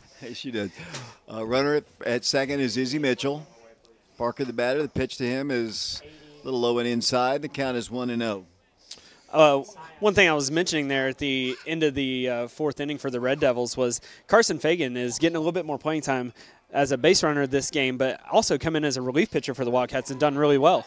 He has definitely earned it. He pitched incredibly well. Uh, the other night on the first game up in Kingsport, uh, John Ulrich had some control issues. He came out of the game, and Carson pitched the middle innings to perfection. and was really, really good. Pitch to Parker is hit hard, shortstop side. They might have a play at third, and they do. Good decision by the shortstop to get Izzy. The ball, yeah, it's kind of a typically if the ball is hit right in front of you, you probably don't want to go there. But I think Izzy probably thought as hard as the ball was hit that it was going to get through, and he is retired at third. And the Wildcats will have a runner, a courtesy runner at first for Parker, who reaches base on a fielder's choice, and that'll be Carson Fagan once again. Peyton Witter. Is the batter. Peyton is one for two in the ball game. He had a single, grounded out to third his last time. Carson not going on the first pitch, and it's hit foul back to the screen. So I got a question for Vashon. I know he brought the DeJavis Dozier to the ball game. My question is, who can bench the most between you two? Me. Is it even close? It's close, but I'm. Uh, he he has strong, way stronger legs than me, but I can bench more than him. Carson not going. The pitch is high. Another question, Vashon. Who is faster, the DeJavis Dozier or Vashon Knowles? Okay, so we actually uh, my top speed is faster than his, but he ha- he gets to his top speed faster, so it's like a bang bang thing. Uh, in a moment after this pitch, I'm going to ask Coach Branson if that's correct. Coach? I mean, I would say that I think uh, DeJavis is quicker making lateral moves and kind of you know think about running back wise in the hole and making those types of cuts. But Vashon, I do think has a better straight line speed. Okay. Pitch is outside. Here comes a throw down, and he's off the bag, and he is out. Carson had the stolen base, but then he came off the bag, and the Wildcats have a couple base running mistakes in the fourth inning, and they leave nobody on base after getting a couple base runners on.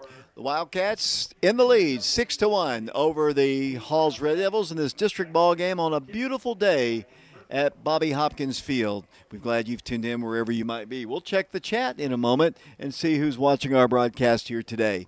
We're live at Bobby Hopkins, six to one Wildcats. We'll be back in a moment.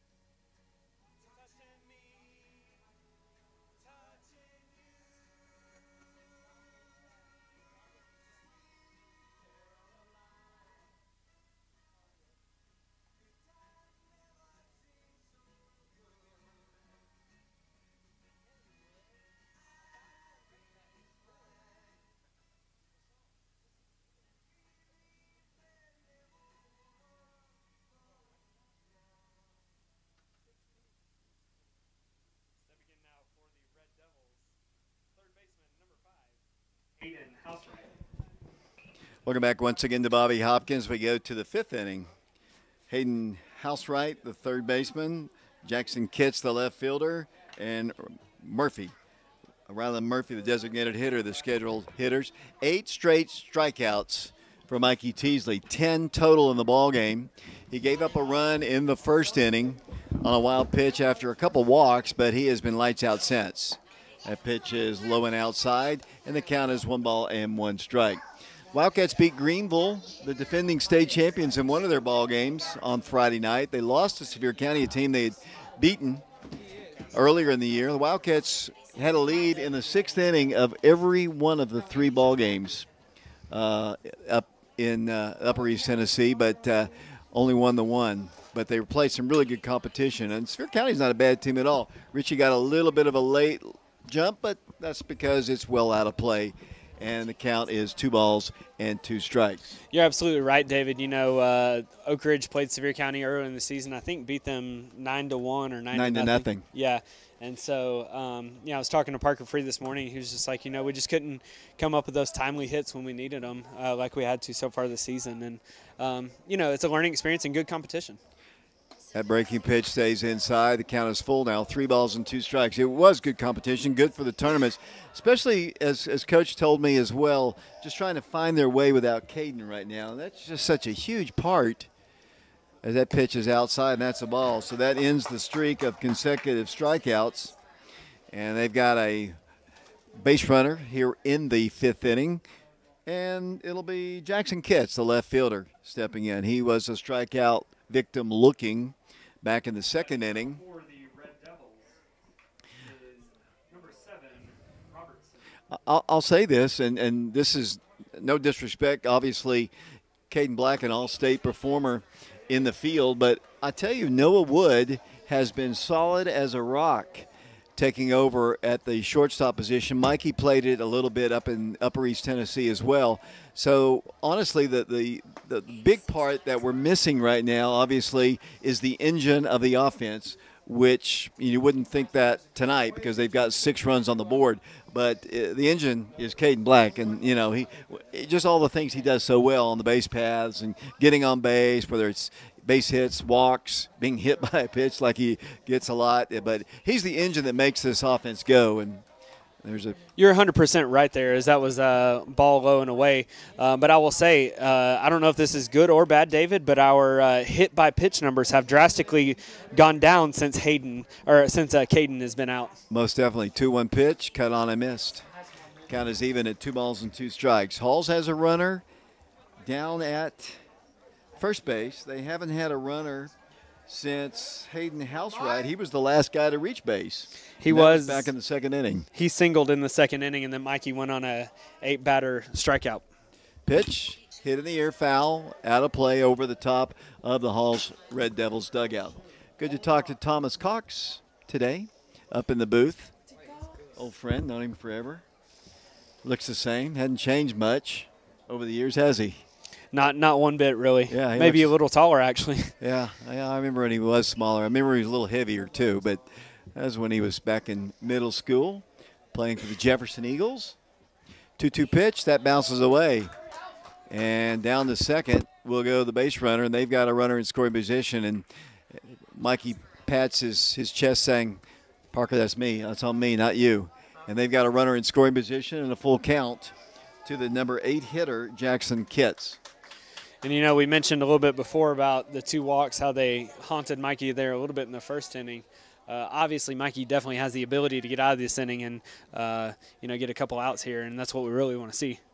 Second wild pitch of the game. That pitch is up high, and all of a sudden he's still throwing hard, but he's kind of lost his way. And Parker, being the smart catcher that he is, will stroll out to talk to his batter mate, battery mate, as will the entire Oak Ridge offense, which is consisting of Camden Welch, Alex Franklin, Noah Wood, Kyron Welch, and of course Parker Free, along with Mikey Teasley. The lonely outfielders just have to talk to each other out in the outfield.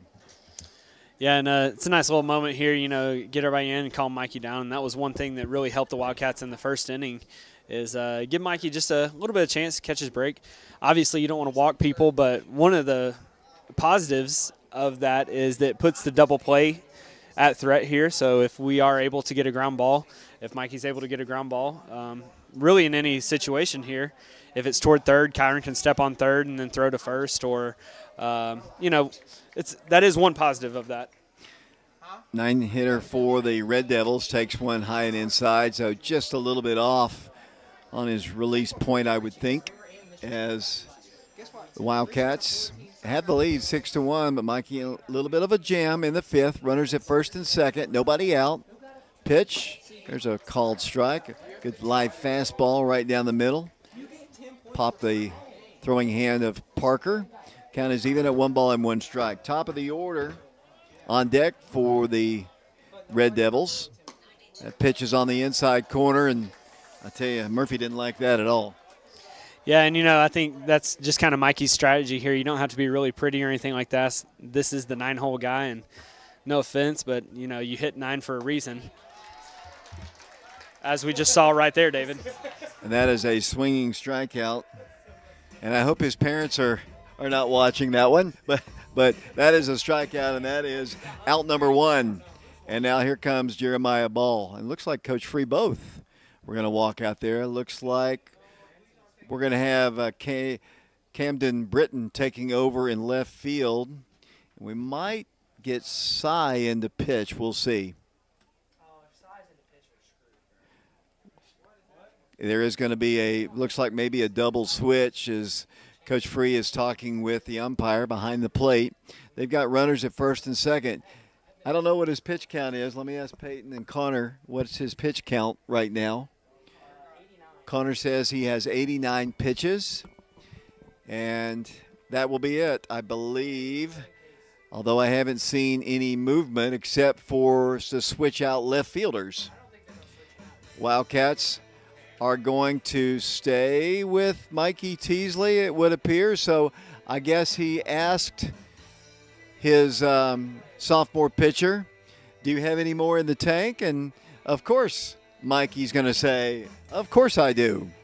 and we'll see if he does as he faces the top of the order with runners at second and third. The Wildcats, Cam Br- Britton is now the left fielder. Cy Stevens is out for now. Looks like Warren is. That might be to give Cy an opportunity to warm up in the bullpen. I think that might be the case, as Mikey is going to face Comparado, and he takes a strike, and the count is 0 1. I think you're absolutely right there with that assumption, David. You know, making those switches. Um, Comparado in the first inning uh, walked, and then in the third inning struck out to Mikey. Teasley checks the runner, not being held on really at second. Breaking pitch stays high and inside. And the count is one ball and one strike. One out, six to one, Oak Ridge. The Wildcats in the lead as we watch the Red Devils bat in the top of the fifth inning. Mikey Teasley. Over 90 pitches now. That pitch is a strike. Quick throw down to first and a nice play by Camden Welch to save what could have been a disastrous throw down the right field line. It's good to have a big first baseman. The Wildcats don't have a lot of physical size. Funny story. I don't know if I told this on Saturday. I'll, I'll come back to that in a minute. Remind me because you know I'll forget. Yeah, very agile play there by Cam though to come off the bag really and save the runner from going to third. One ball, two strikes. One two pitch. Breaking pitch. Cut on a miss. That's another strikeout. Couldn't catch up with that breaking pitch. And the count was two strikes on him, and he just swung through it. And that is strikeout number 12 for Mikey Teasley. And the batter will be Cooper Faust. Cooper walked in the first inning, was retired on a fielder's choice, and was a strikeout victim. Before the ball game on Saturday, I was talking to the Tuscola coach, waiting to get his lineup, and uh, I was listening to two of their assistant coaches, James, who were off to the right, that said they were watching us warm up, and and I heard one of the assistant coaches tell the other, "Those guys are tiny," and that's what he said because this Tuscola team, they were all built kind of well, they were all bigger than Vashon, Vashon but they were they were big like Vashon. They they honestly were, and they were looking at our little. And I wanted to say, you know what? We have a bunch of freshmen and sophomores, and we have Steamboat in the house here. Kevin, how you doing? Good, good. I'm doing good. Glad to be out here. That would be Kevin Steen, formerly of the Boston Red Sox organization. 0-2 pitch is hit to center field. Warren East can't make the play and lets it get behind him. That means two runs are going to score. Gets the green light and in to score on the triple will come the Red Devils, and they have two on the board. Ball was hit well. Two RBI triple for them, and I, I think if Warren had it all to do uh, over again, Kevin, you know he probably would like to play that on the hop. Oh yeah, most definitely. But in that situation, you got to do what you got to do. You well, it's one out, but yeah, play it off the hop. You know, gotta gotta gotta play smart. Got to play the game smart with runners on. So they've played a couple here. It's six to three now. Mikey's got a runner at third. Come on, Rick. And I've got him. I've got two outs. On There the- are two, there are two outs. Yeah, just two outs. yeah. You, it wasn't you wrong. It was the scoreboard, Kevin. So Absolutely right. You know, Kevin's right there. If he keeps it in front of him, you know, Warren's got a strong enough arm. He can make that throw to home to prevent the runner from scoring from second. you can see him out there kicking himself. That you know he knows that you know they probably would have they would have scored one for sure, but probably not two. And now Mikey's got to. He's not going to get this guy out either. He's going to hit one hard to the fence. I think Mikey's running out of gas, and it is now six to four, and it'll be a double and an RBI. And I think that'll be it for Mikey Teasley, who just kind of hit a wall here in the fifth inning. Come on, Mike. You got, you got this, kid. Left go doubles there, scoring a runner. And they'll, they'll have a courtesy runner as well. So now it's six to four. So already, all all of a sudden, we have a ball game. Wildcat offense will have to get back to work, and here comes the long walk out across, and now we're going to have that pitching change. I I think probably Coach Free. He would have loved to have, uh, you know, taken him out when he went out the first time, but he didn't have his next pitcher up and ready to go.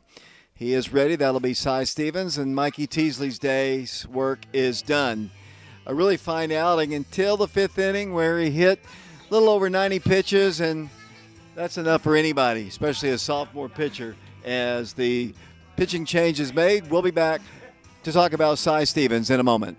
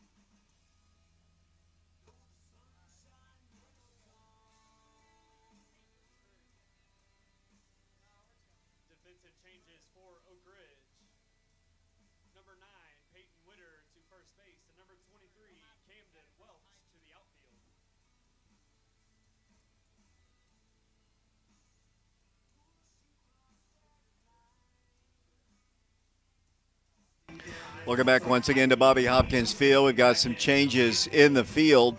Peyton Witter is going to take over at first base for Camden Welch, who moves to right field. The Wildcats will switch outfielders. It looks as if like uh, Warren East will stay in center, and it looks as if Richie Ferreira has moved over to left field. The infield remains the same. Kai Welch at third. Noah I think that's Mikey. It's going to be Mikey Teasley at shortstop. Thanks, James. I see that now. And it looks like Alex Franklin is going to stay in at second base. And Parker Free is still the catcher, but Cy Stevens will be the pitcher. Cy pitched incredibly well the other night in the game against the um, Greeneville Greene Devils, and I believe he was the winning pitcher, if I remember correctly, in that game. He comes in, and I think the happiest people in the world are the Hall's Red Devil hitters because Mikey Teasley really had him handcuffed most of the ball game until the fifth inning, and I'm sure they're happy to see him. They finally got to him here in the fifth. Yeah, and I think Mikey, you know, maybe ran out of gas there a little bit, but you know what a commendable effort by Mikey. 12 strikeouts in a game is great for the Wildcats to give them such a lead. That pitch stays up high, and the count is one ball and one strike according to the scoreboard. Seth uh, Perry is the batter. He was a strikeout victim to Mikey Teasley. That breaking pitch stays up high. I think the count is 2 and 0.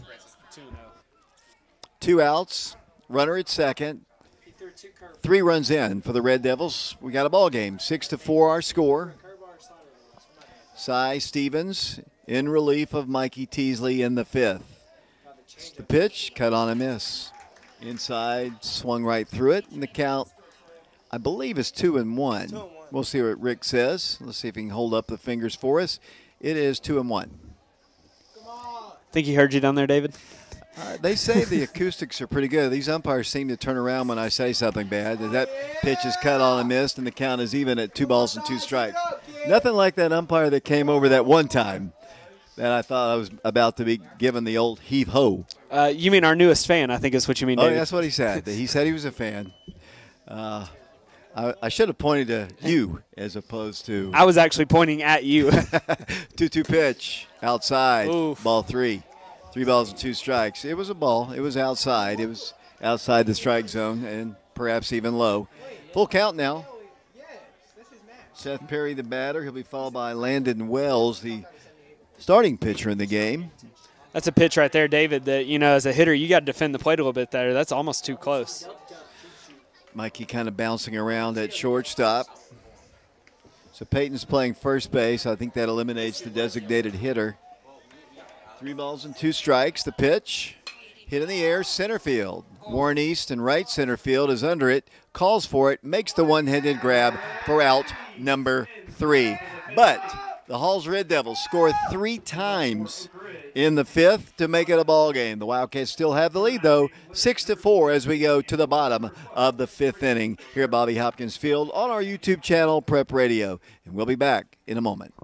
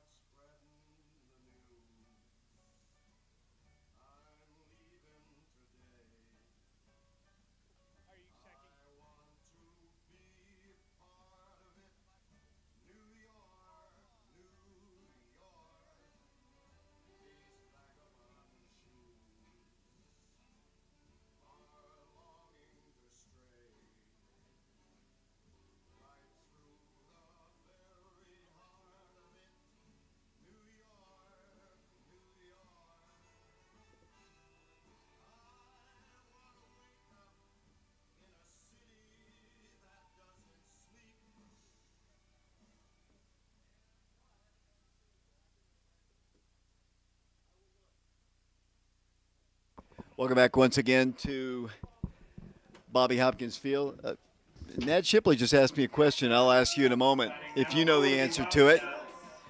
The Wildcats need to start their offense going once again. They lead at six to four. Peyton Witter will lead things off. He was at bat in the previous inning when the Wildcats had a couple base running mistakes, and that ball is hit on the ground softly to the shortstop. Peyton is going to be in time for an infield single. He just couldn't get enough on the throw to uh, get the out. Once it got past the third baseman, it was going to be an infield single, and Peyton has his second hit of the ball game. Better now will be Cam Welch. Camden Welch missed a home run by two feet. He hit the ball to dead center field right at the 357 sign. It hit off the green part of the fence and stayed in the park for a double. And he scored a run, stole a base. He's also walked in the ball game. Good start for the Wildcats, who have got to get their offense going once again. That pitch is outside, a ball, one ball, and no strikes. Cam will be followed by Richie Ferreira, who had an RBI single his last time. Right-handed throwing pitcher for the Red Devils. The pitch, cut on foul, tipped at the plate. That first pitch was a strike there, David. Just, I guess, caught the outside of the plate there. So it's no balls and two strikes. Ned Shipley asked me about a football field that has been constructed on the west side of town as you're going out. Oh, yeah, I've, I've seen that actually. Yes. Ball's hit up the middle. Second baseman fields it. They might have a double play. Throws out Camden. That is a double play. Ball was hit hard, but the second baseman was kind of shading over towards second. He stepped on the bag and threw on the first for the double play. So the base runner is is retired, and Richie Ferreira will stand in with two outs. I noticed that as well, David. We were heading over to um, a tournament for Emmett over at Kingston, and I just saw this amazingly green field. And I looked over there as we were coming back, and it was a turf field over there, uh, right across from basically K25.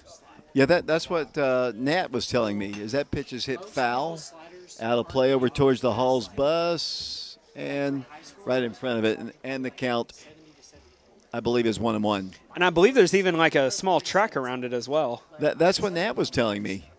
I'm gonna have to go look at it. As that pitch is hit back to the screen.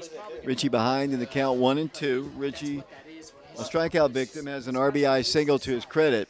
Wildcats were cruising comfortably, James, and now it's six to four.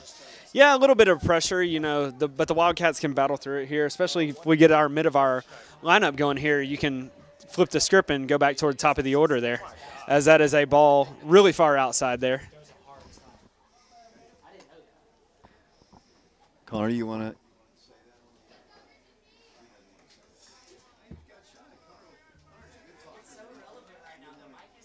He didn't want to talk on the air. As once again, two balls and two strikes to Richie, two outs to pitch.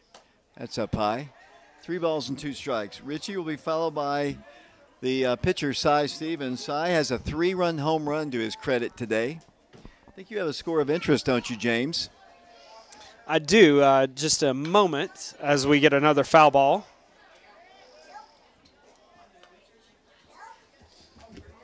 It was the Powell Central score. Powell uh, is up on Central four to one in the bottom of the third inning, uh, but looking to possibly get another update. Ball's hit on the ground, right side, under the glove of the second baseman, and that's the second straight hit for Richie Ferreira. So the Wildcats have a two out base runner. Wildcats have hit the ball hard in this inning. Unfortunately, the double play off the bat of, of Cam, and now the home run guy of the game. Cy Stevens will step in to bat. Richie is now is now two for three in the ball game with an RBI. Cy steps in. Cy, I believe, is let's see, one for two as he steps in. The three-run home run, and he takes one on the outside corner, and the call is made. Strike one. No balls and one strike. You know, Richie might be um, one of two for the day, as uh, maybe you mentioned. Uh, fielder's choice was one of the uh, ones he grounded into, but Richie, nice contact here. He's going. Catcher has trouble getting it out of his glove, and here's the throw, and he is out. So Richie is caught stealing, and the Wildcats, the last couple of innings, have had three base runners gunned down. And let's see if Richie is okay. Seems to be getting up slow. Coach Maddox checking on him.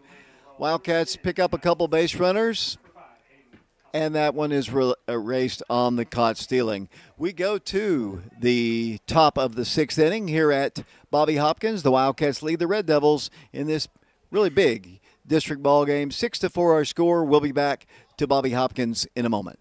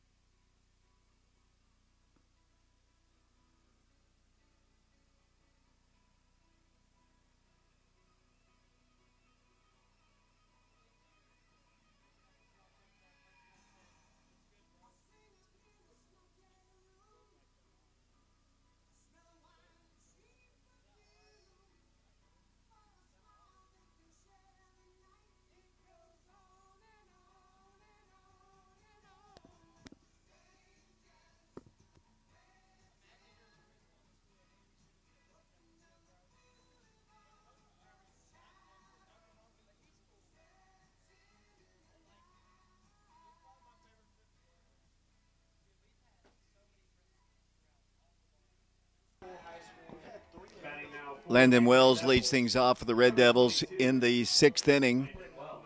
Wells is 0 for 2 in the ball game with two strikeouts, one swinging, one looking. Facing Cy Stevens, who begins his first full inning of work, hopefully. And the ball's hit on the ground. Third uh, shortstop side, Mikey Teasley throws in time. Mikey displays that strong arm and throws him out. That's a, it's great to have a shortstop with an arm like Mikey. Uh, even though he threw almost 90 pitches in the game, he throws another strike across the diamond to Peyton Witter, and that is out number one here in the sixth inning. Really nice play by Mikey. Uh, Mikey. The ball was not hit that well, and Mikey, once it got past Kai, it was up to Mikey's arm, and he showed it off once again, and it's out number one. You know, normal teams might be a little worried when you lose a guy like Caden Black, four-year starter, great arm over there at shortstop. But then you just throw your normal third baseman in there and makes a you know makes a very difficult play look routine. It's really nice to be able to have that ability for the Wildcats. One strike the count. The pitch is hit foul off the plate or off his body, and the count is 0 2. 2. Cash Sintel, the first baseman, he is 0 for 2 in the ball game. Flew out to Warren East. Back in the second inning was a strikeout victim looking in the fourth. David, I also have to apologize for the what I said previously. Uh, Richie has two singles, as you pointed out. Uh, I mistakenly put it down as a fielder's choice. Nice play out by Alex Wood on a soft pop up just in the right field grass. And Alex didn't have to go too far to make the play. And that is out number two in the sixth inning. Just a little soft pop up. Alex Franklin on the on the uh, on the pop. What did I say? I knew I. You were getting lit up on this side of the press box, David. Yeah, Alex Wood. He he was a pitcher for the Braves and now pitches for who now? Ooh. He's still playing. I don't know, but I remember that. Padres, maybe Giants, somebody. I'll have to look it up. Yeah. Sorry, Alex. Sorry, Jacob, if you're watching. That pitch is a called strike. strike, and the count is 0 1. Thank you, Vashon. Is Cooper doing the scoreboard over there, or is Connor? Cooper is doing the scoreboard, David. Good job, Cooper. Call the strike. No balls and two strikes. Oakland, David. He is a pitcher for Oakland now. Yes, I knew he was someplace. Left-hander, played at the University of Georgia, I believe. Count as one and two. Am I right there? I think he played at the University of Georgia. Sounds great to me. I just closed that one out there. But uh, former Brave, that's all that matters. Two balls and two strikes. Big. He's not as skinny as he used to be, left-hander. Two-two pitch. Outside, two outside. Parker wanted it, but Count's full now. Three balls and two strikes. Cy Stevens trying to get him one, two, three in the sixth inning, and get his offense back out there. You know, I'm just so impressed on a you know daily basis with just you know how young the Wildcats are, but how much knowledge they have of baseballs. Uh, you know, just Parker there being able to frame pitches and do the little things correctly. Three balls, two strikes, two outs, nobody aboard. Top of the six, six to four, Oak Ridge. District ball game from Bobby Hopkins. That pitch is cut on a miss. Three up and three down for Cy Stevens, who pitched very good ball the other night up in Upper East Tennessee. And he comes out and he's retired the first four batters he's faced in this one. We go to the bottom of the sixth inning, inning here at Bobby Hopkins Field. Wildcats of Oak Ridge lead it six to four. We'll be back in a moment.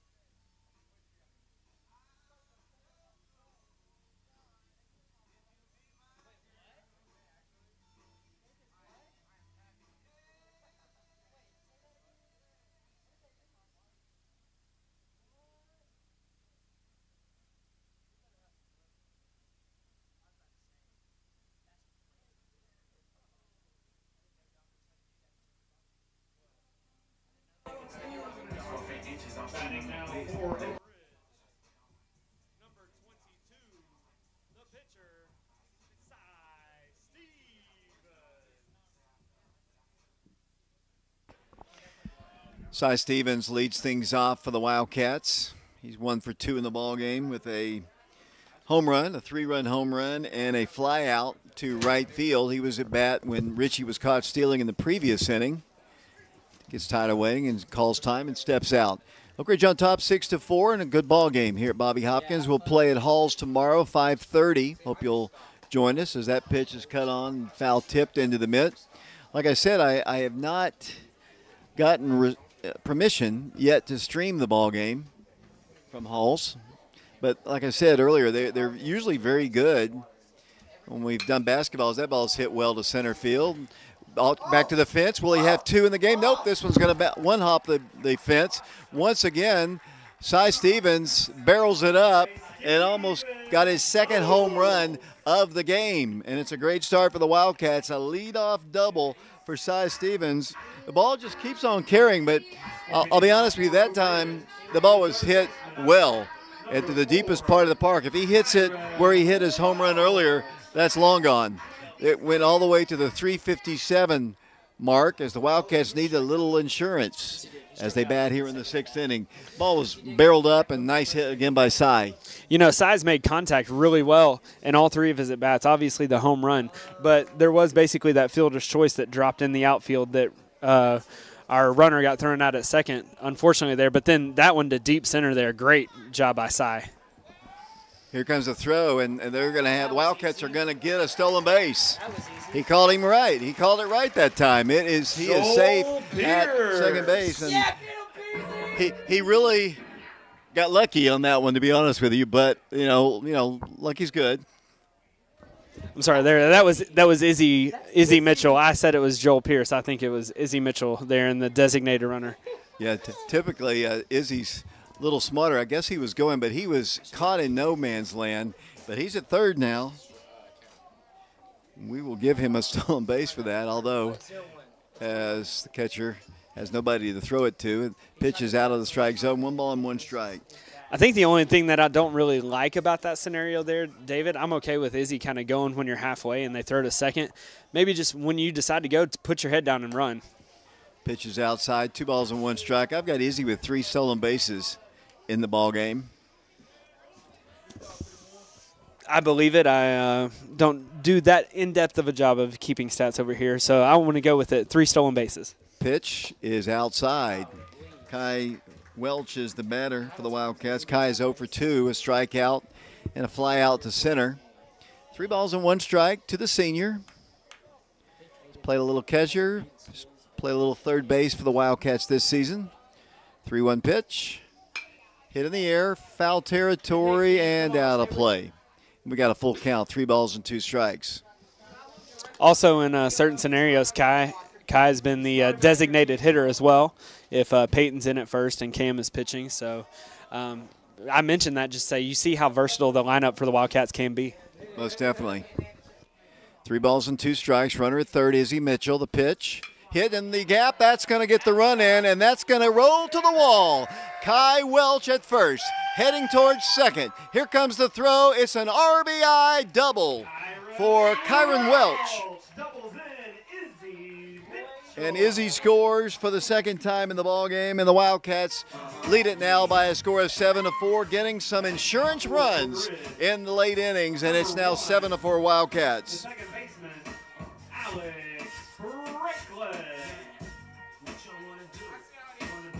First hit of the ball game for Kyron. The batter now will be Alex Franklin. Alex is a good bunter. Let's see if he tries to put one down. They're going to play a little bit behind the bag at third. Let's see what Alex can do with a runner at second base with nobody out and a run in in a 7-4 ball game. The pitch he is going to square to bunt. Takes one down low. Alex is a fantastic bunter. He's a really good bunter, and you know he does a lot of things well. You know, he, Alex surprisingly has a little bit of power. We saw it in one of our away games, but you know Alex is a smart player too, and he just looks to put the ball in play to move players around. One ball, no strikes to him. Squares to bunt again. Takes ball two. Two balls and no strikes. I've never really kind of understood. You know, obviously he's not throwing, trying to throw balls, but he's trying to give you an out. Yeah, just take it. Just throw it right down the middle. Right. Two balls and no strikes. It's a lot easier said than done, though, of course. He squares the bunt again. He does get it down, and it's going to be a base hit. There's no way in the world. I told you he can bunt, and he bunts for a single. I guess the Red Devils, obviously they didn't scout. They don't know that Alex can bunt. Obviously, they didn't even change their positioning at third base. I guess he wanted to stay around third to cover in case Kai was coming over, but he stayed back beyond the bag and never really came in. And he put it down on the grass. A perfect bunt by Alex Franklin. And the Wildcats have runners on the corners, and they're going to make a pitching change. I was about to say that exact same thing, David. You know, you had the first baseman over here creeping like he was expecting bunt, but the third baseman never moved. So, wise decision there by Alex just to put it right down the third base line. The third baseman was in no man's land there. Do I go and take the bunt? Do I go and cover the bag? Because the second, the shortstop was the guy holding on Kyron at uh, second. So there was nobody to rotate over to allow the third baseman to go get the ball. It wasn't like he was not trying to hide the fact that he was going to bunt. He, he squared the bunt three times in that at bat. And, you know, like I said, smart by Alex there just to know third baseman's letting me have it. I'm going to use my speed getting down to first base. Seven to four the score. If we get three outs, we win the ball game, Connor. Three outs, we win. Woo! Not exactly what I expected, but okay. Uh, as they have a pitching change, we'll take a break. We'll be back on our YouTube channel, Prep Radio, in a moment.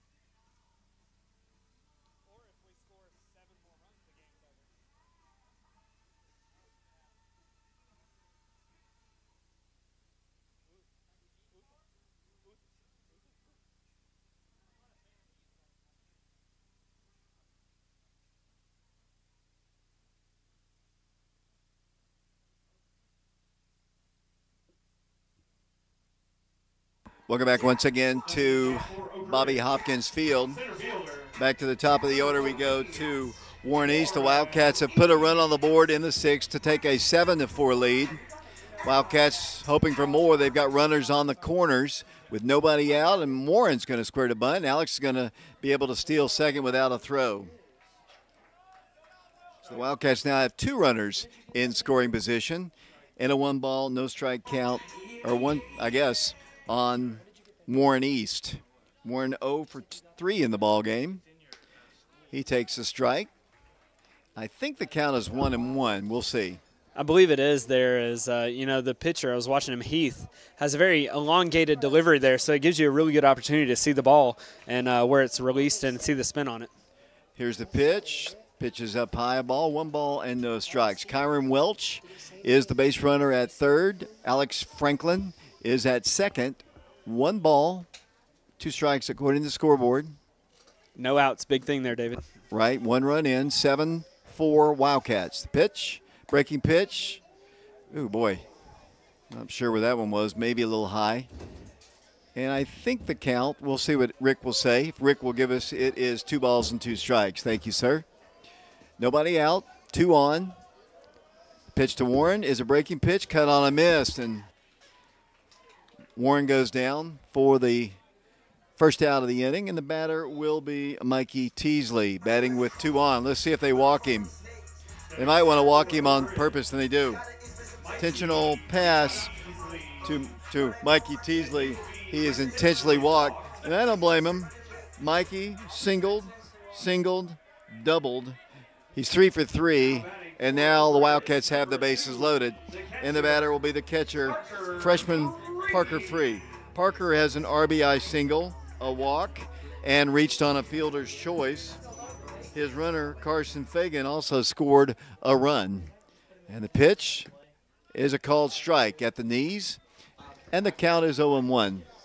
I understand the strategy here. Obviously, you don't want Mikey to drive two more runs in, but also it puts a double play in effect for the Wildcats. But Parker does a really good job of getting the ball lifted, and he doesn't get too many ground balls. Pitch is good stop by the catcher. Ball was in the dirt. Good, good stop by the catcher for the Red Devils, and count is even at one ball and one strike. And also, you know, Parker, you know, since he does lift the ball, he drives it to the outfield a lot. So he has a lot of sacrifice flies so far this year. So Wildcats have a good opportunity to score again. Pitch to Parker is hit in the air, right side. Right fielder, a long run in fair territory, makes the catch. Tagging and scoring is Kyron Welch, and the Wildcats have another insurance run. That is a sacrifice fly and an RBI. Second RBI of the ball game for Parker Free, and the Wildcats lead it now by a score of eight to four. The Wildcats scored five runs in the first inning, one run in the third. They have scored two here in the sixth. The Red Devils scored a single run in the first, three in the fifth inning. Wildcats still have runners on board. Teasley's at second. Alex Franklin is at third. And the batter for the Wildcats is Peyton Witter, he takes the ball. One ball, no strikes. Peyton on the day is singled twice and is grounded out. He's two for three in the ball game. Two outs, two on, two in. Pitch down low. Another ball, two balls and no strikes. As I mentioned, tomorrow Oak Ridge will travel to Halls to take on the Red Devils beginning at 5:30. Hopefully, we'll stream the game. Might talk to their coach afterwards to see if that's okay. 2-0 pitch. Ball three. Peyton will be followed in the Wildcat lineup by Cam Welch. Cam has a double off the fence to his credit today. He also walked, stole a base, and he's going to be intentionally walked. Peyton Witter. So with uh, walked behind in the count anyway, I guess they wanted him to go fishing, and he, when he didn't, they just decided to load the bases, and Camden Welch will come in, and that's the ultimate ultimate insult to be walked intentionally to get to the number five hitter in the lineup. Let's see if Cam can make him pay here. Pitch to him, breaking pitch on the inside corner for a called strike. Nice pitch that time by Heath. Yeah, you know. loaded. Go ahead, James. Well, I was going to say, Cam is very similar to Parker. You know, if you give him anything, he can drive it to the outfield pretty easily and score several guys here. One strike pitch. Cut on and missed. Maybe foul tipped, and the count is 0 2. Cam, uh, you know, obviously wants to make a play here, but the pitcher uh, may not have as much speed as we've seen previously from the Hall's pitchers, but, you know, has a nice drop on the ball. No balls, two strikes. The pitch hit on the ground to the shortstop. He feels it on the backhand, throws low, and a nice play by the Hall's first baseman to keep the ball from going past. The Wildcats score a couple of insurance runs. We go to the seventh inning. Halls has three outs to play with. The Wildcats on top by a score of eight to four. And we'll be back to Bobby Hopkins Field on our YouTube channel. If you look down at the bottom of the screen, those are our basketball sponsors. And want to remind everybody that uh, come district tournament, hopefully regional tournament, hopefully sub-state, hopefully state, we will need some sponsors. The TSSAA actually charges to do those ball games. We had so many people step up last year to allow us to broadcast the ball games, and I'll be asking for your help when the postseason rolls around, and that's coming up in just about a week. I think the Wildcats have one more full week of basket, baseball to be played, and then the tournament begins in the first part of May. Those sponsors are our basketball sponsors. We're just giving them a little bit of uh, play as the Wildcats get ready to hopefully win another district game. Eight to four our score. We'll be back with the seventh inning in a moment.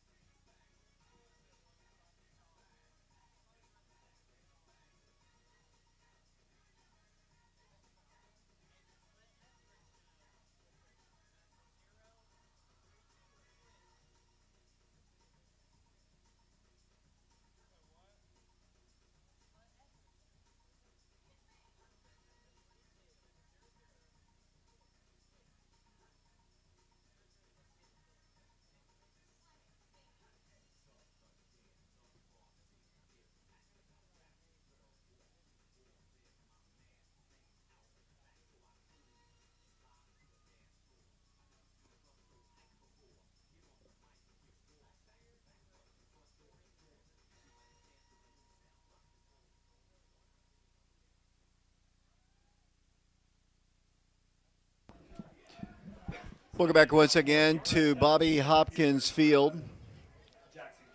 Jackson Kitts, the number eight hitter in their lineup, leads things off. Jackson was a strikeout victim of Mikey Teasley in the second inning and scored a run after walking in the very productive fifth inning for the Red Devils. Cy Stevens trying to nail it down for Mikey. He's got some insurance runs to work with.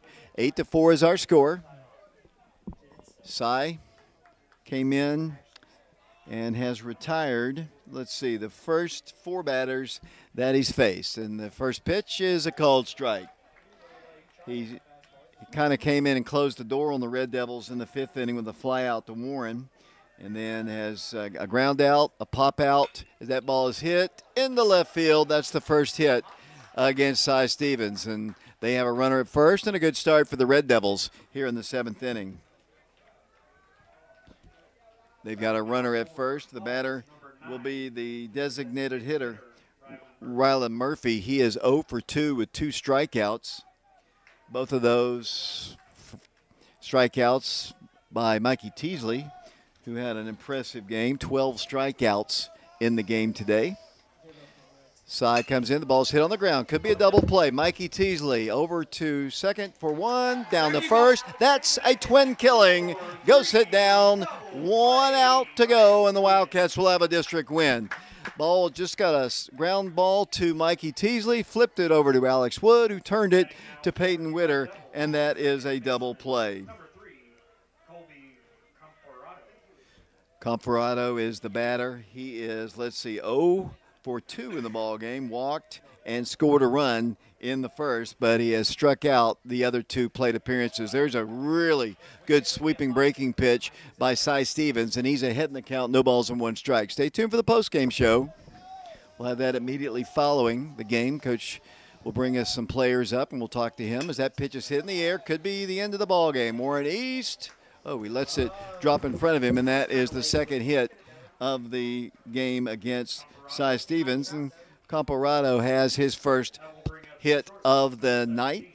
And the batter now will be the shortstop, Cooper Faust. Cooper had a two RBI hit back in the fifth inning. Really big hit for them, rolled to the wall. He hits in the number two spot. The Red Devils down to their last out. Eight to four, Oak Ridge in the lead. Side to the plate, hit foul. Off the right side and out of play.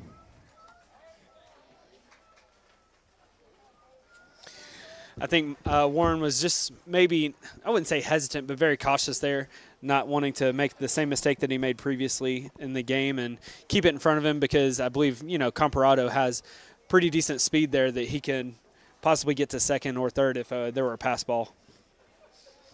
Foul steps in, as we said. He is one for two in the ball game. Swings and misses at a high fastball, and the count is 0 2. One strike away from a district win. The Wildcats have a couple wins a sweep against Karns, a sweep against Campbell County, a split with Central, and a loss. That ball is hit in the center field. That is another base hit. And they've got runners at first and second with two outs, and the Red Devils not going easily in this one as they send to the plate their number three hitter, who also had an RBI double back in the fifth inning. He reached base on a fielder's choice as well in the first and was a strikeout victim in the third.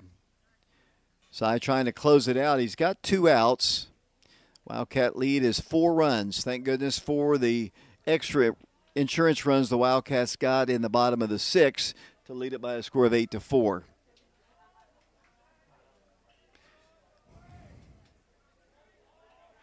Left go the batter. He's a right-hander.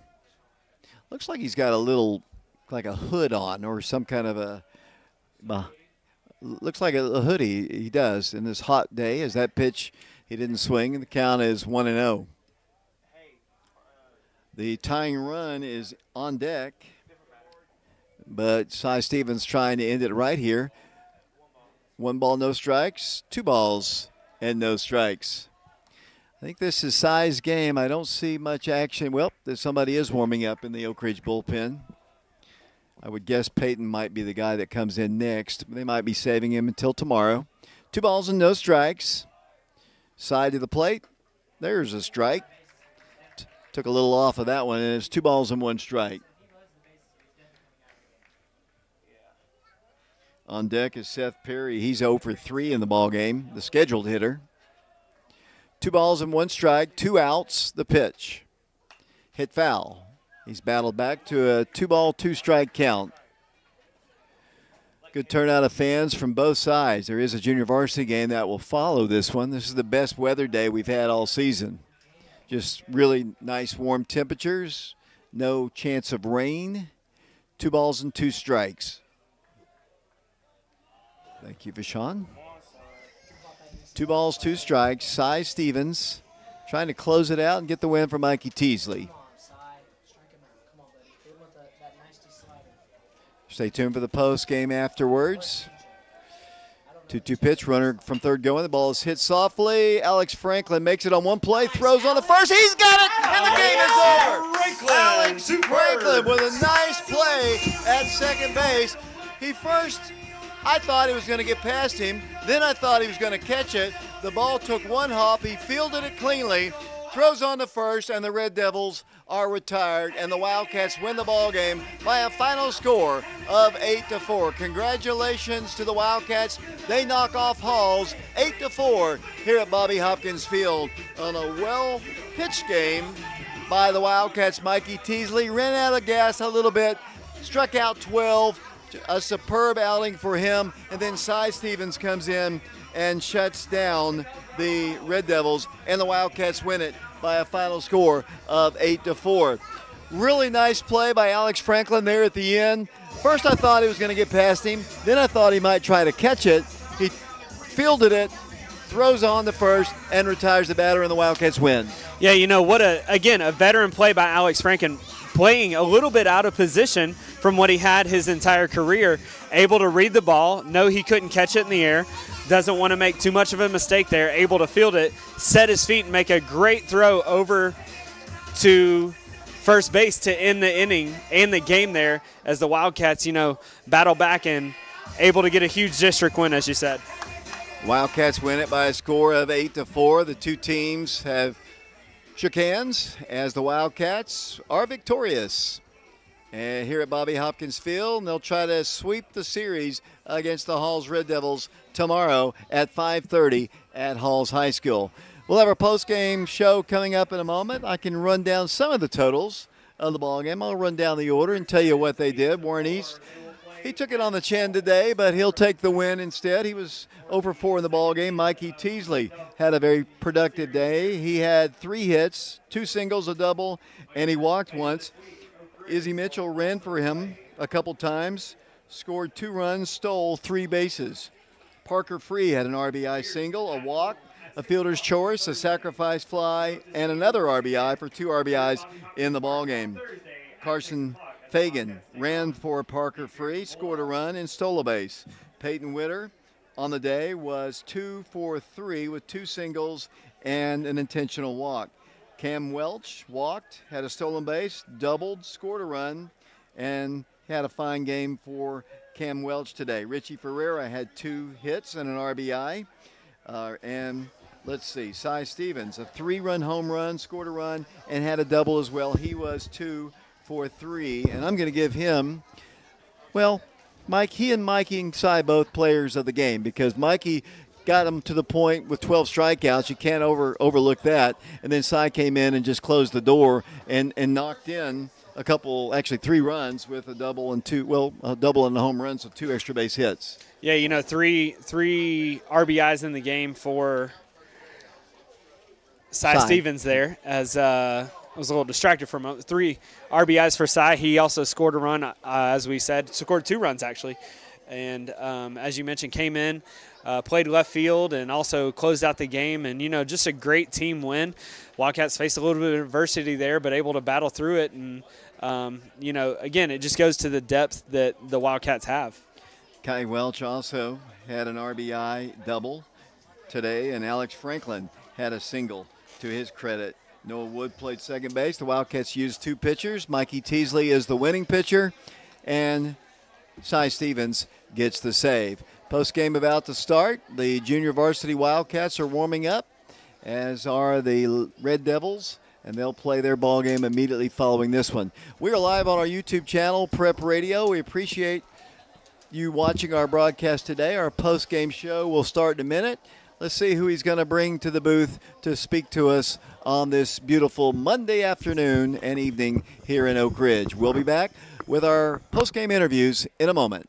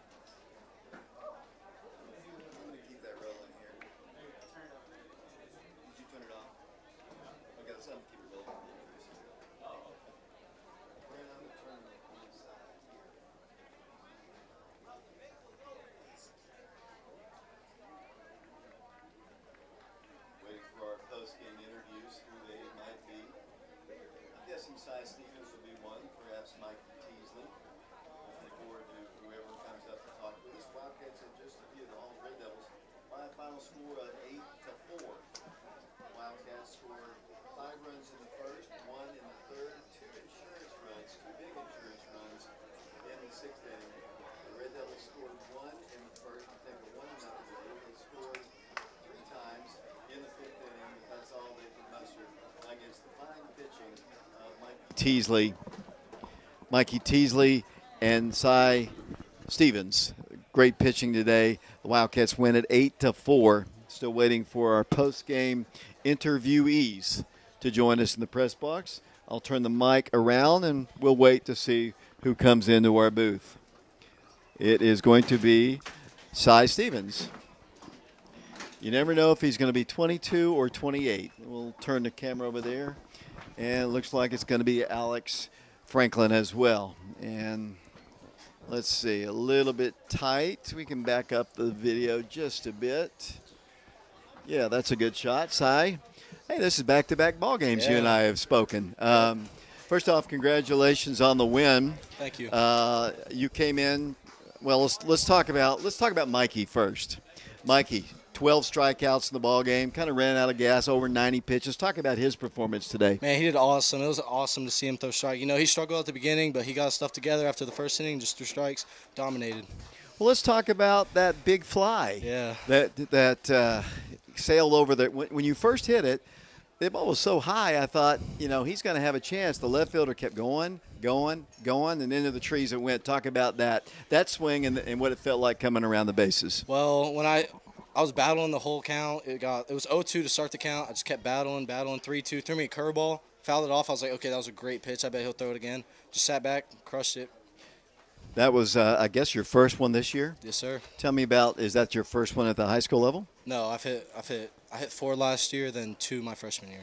So you've hit six, eh, so you only have one this year. Hey, you need you need to catch up here. Yeah. We, we got a few games to go, but a really big big play in the ball game because this Halls team's not bad, Mhm. not bad at all. They they battled you, made it close, six to four. Uh, but then those, how important were those two insurance runs there at the end?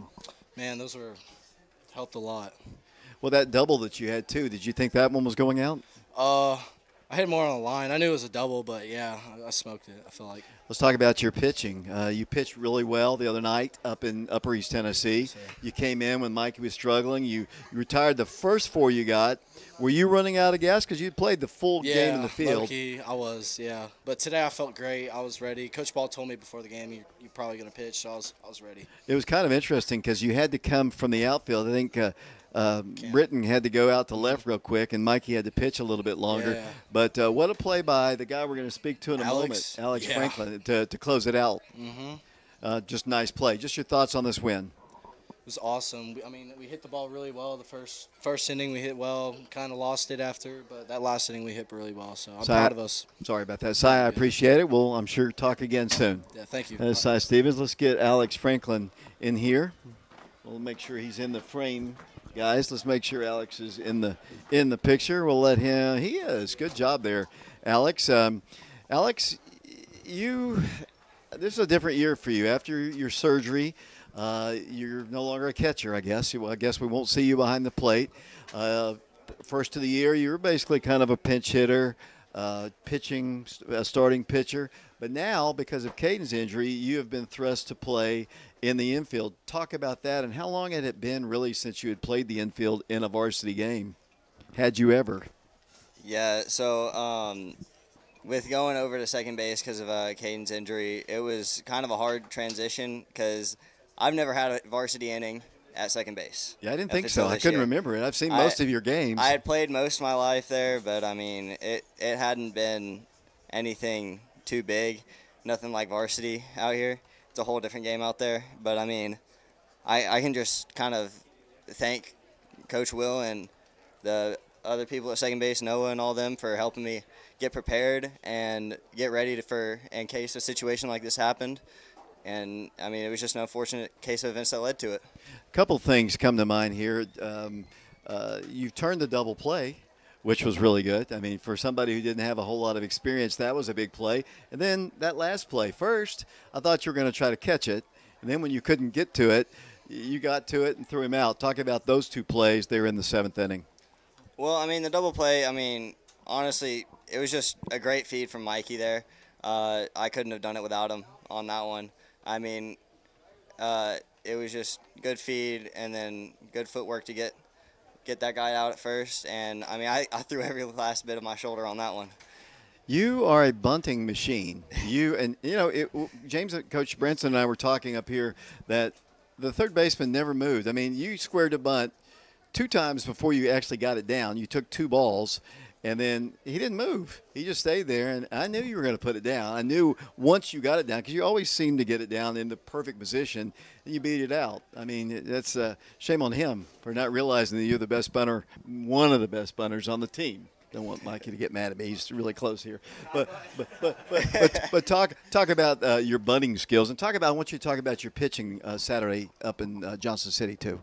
Yeah, um, bunting. I mean, I've just kind of done it my whole life. I was really fast when I was younger, and then slowed down into freshman year and sophomore year. But I mean, I've always, I've always been a guy that could just put one down if needed. But I mean, really, I mean, it's it's all the preparation that the entire team does before game. We all put bunts down. We all get ready to do what we need to do there uh, at the plate if needed. So. We'll talk about your pitching Saturday. We, I thought you pitched great. I mean, I, I know you, you left when it was three to three. I thought you pitched great in that game. Uh, yeah, I mean, my it was just my uh, my shoulder felt good and uh, everything was moving right, and Parker was doing an amazing job behind the plate, framing those pitches. Honestly, How important was this win in the district today? oh, very important. But I mean, we still got to turn around and come back and play harder tomorrow. Alex, I appreciate it, and uh, good luck tomorrow at Halls. Alex Franklin, I guess it's Mikey up next, Mikey Teasley. Let's make sure he's in the shot as well. Mikey, a couple things. You're good there. Um, 12 strikeouts in the ball game. Uh, you were over 90 there at the end, 90 pitches. But uh, talk about you, you. At one point, I think you had struck out eight consecutive batters. Had a little control problems in the first inning. Talk about that inning and what changed to get you through the middle innings. Uh, in the first inning, I was just pulling my front side open and like not pushing, not pushing off the mound. And once I started to realize that, I started to finally be in the zone, and I was throwing harder and get locating all my off-speed pitches and everything like that. Yeah, your breaking pitch was really, really good. You had about everything going well for you today, especially after that first inning. Um, like I said, you struck out eight consecutive. You struck out 12 for the game. Kind of ran out of gas there at the end. You pitched on Saturday, too, a, a full inning as well. You had Sunday off, and then you're right back at it. But uh, Coach told me after the game Saturday that you're out of your routine as a reliever. It's not something you're used to doing. Uh, you're a starting pitcher, but uh, what is that routine, and what makes it a little bit more comfortable for you to pitch as a starter, as opposed to just being thrown in there as a relief pitcher? Well, I like to like know like coming into the game. I like to give, I like be able to stretch and also be able to like sit down with my team, talk how the game's gonna go, and stuff like that, and then after that we just that's why I like starting better than relieving because when I relieve I just get called and then I got to throw a couple pitches and now I'm back in the game. so it's like You made you made a nice couple nice plays. They had a really soft grounder to short, and, and I knew with your arm, even at 90 pitches, you were going to zip it across. Is your arm sore after a ball game like this when you throw nearly 100 pitches? Nah, not really. It's because I just got the thing to help my arm, and like it's like it's this thing called Marc Pro, and it's just it sends like electric shock through the arm, and it like loosens it up for you, kind of. You had three hits today, and the ultimate compliment, they walked you intentionally. What's it like? And what is it like to have somebody walk intentionally to get to you? Have you has that ever happened to you? Yeah, last year Powell did it, and it was like I was like, all right, and then I had to show him not to do it again, and then I hit it, I hit a single to score, Caden I think last year against Powell, and we came out to win. I remember that. Uh, I know. I know you're a starting pitcher and you love that, but your game is good at the plate and in the field. Um, what kind of things do you still need to work on to get you to the next level? I know you're only a sophomore, but what do you need to get better at to become the complete player? You, I think you're a complete player now, but you can always improve. What what things do you need to work on? Uh, I need to for sure work on a changeup because I need to get at least a third or fourth pitch, and uh, for pitching wise, and then for hitting, I just need to work on staying closed, my front side closed. That way, I don't pull off of all speed pitches. One one more question here. How important, although the, the competition, you lost two of the three games that there, how important is it to play good competition as we go to the stretch drive of the season here? It's very important to get us ready for uh, the state tournament and the sub-state stuff like that. And honestly, the region, because the region, our region's toughest region in the state, in my opinion, and it's going to be a hard-fought battle. And I think this weekend helped us realize what we have to do. Let me tell you something, and this is my last thing I'm going to say. I'm going to get Coach Free in here. The other day, Saturday, when we were getting ready to play Tuscola, I was waiting for the lineup, uh, and they were talking about you. They obviously knew who you were, but that's not what I want to say. You- you- I was leaning up against the fence. The assistant coaches for Tuscola said, watching you all warm up, and said, "Man, those guys are tiny." That's that's what they said. And you, you do have a small team, but I think your young guys make up for you're you're bigger than the mother freshman, but you guys have made up. Doesn't matter what class you are, it's the talent that's talk about the young guys and what it's like playing, and you played both of these guys most of your life. Honestly, Warren and Parker, they're some like they're the two smallest on our teams, and they're complete dogs. They just hit. They know how to hit the ball at big moments, and just like I'm gonna go to back to the Bearden game. Warren came up in a big moment, hit home run for us, and then Parker, he's been killing the ball recently, and he's been hitting the ball good all season. To be honest.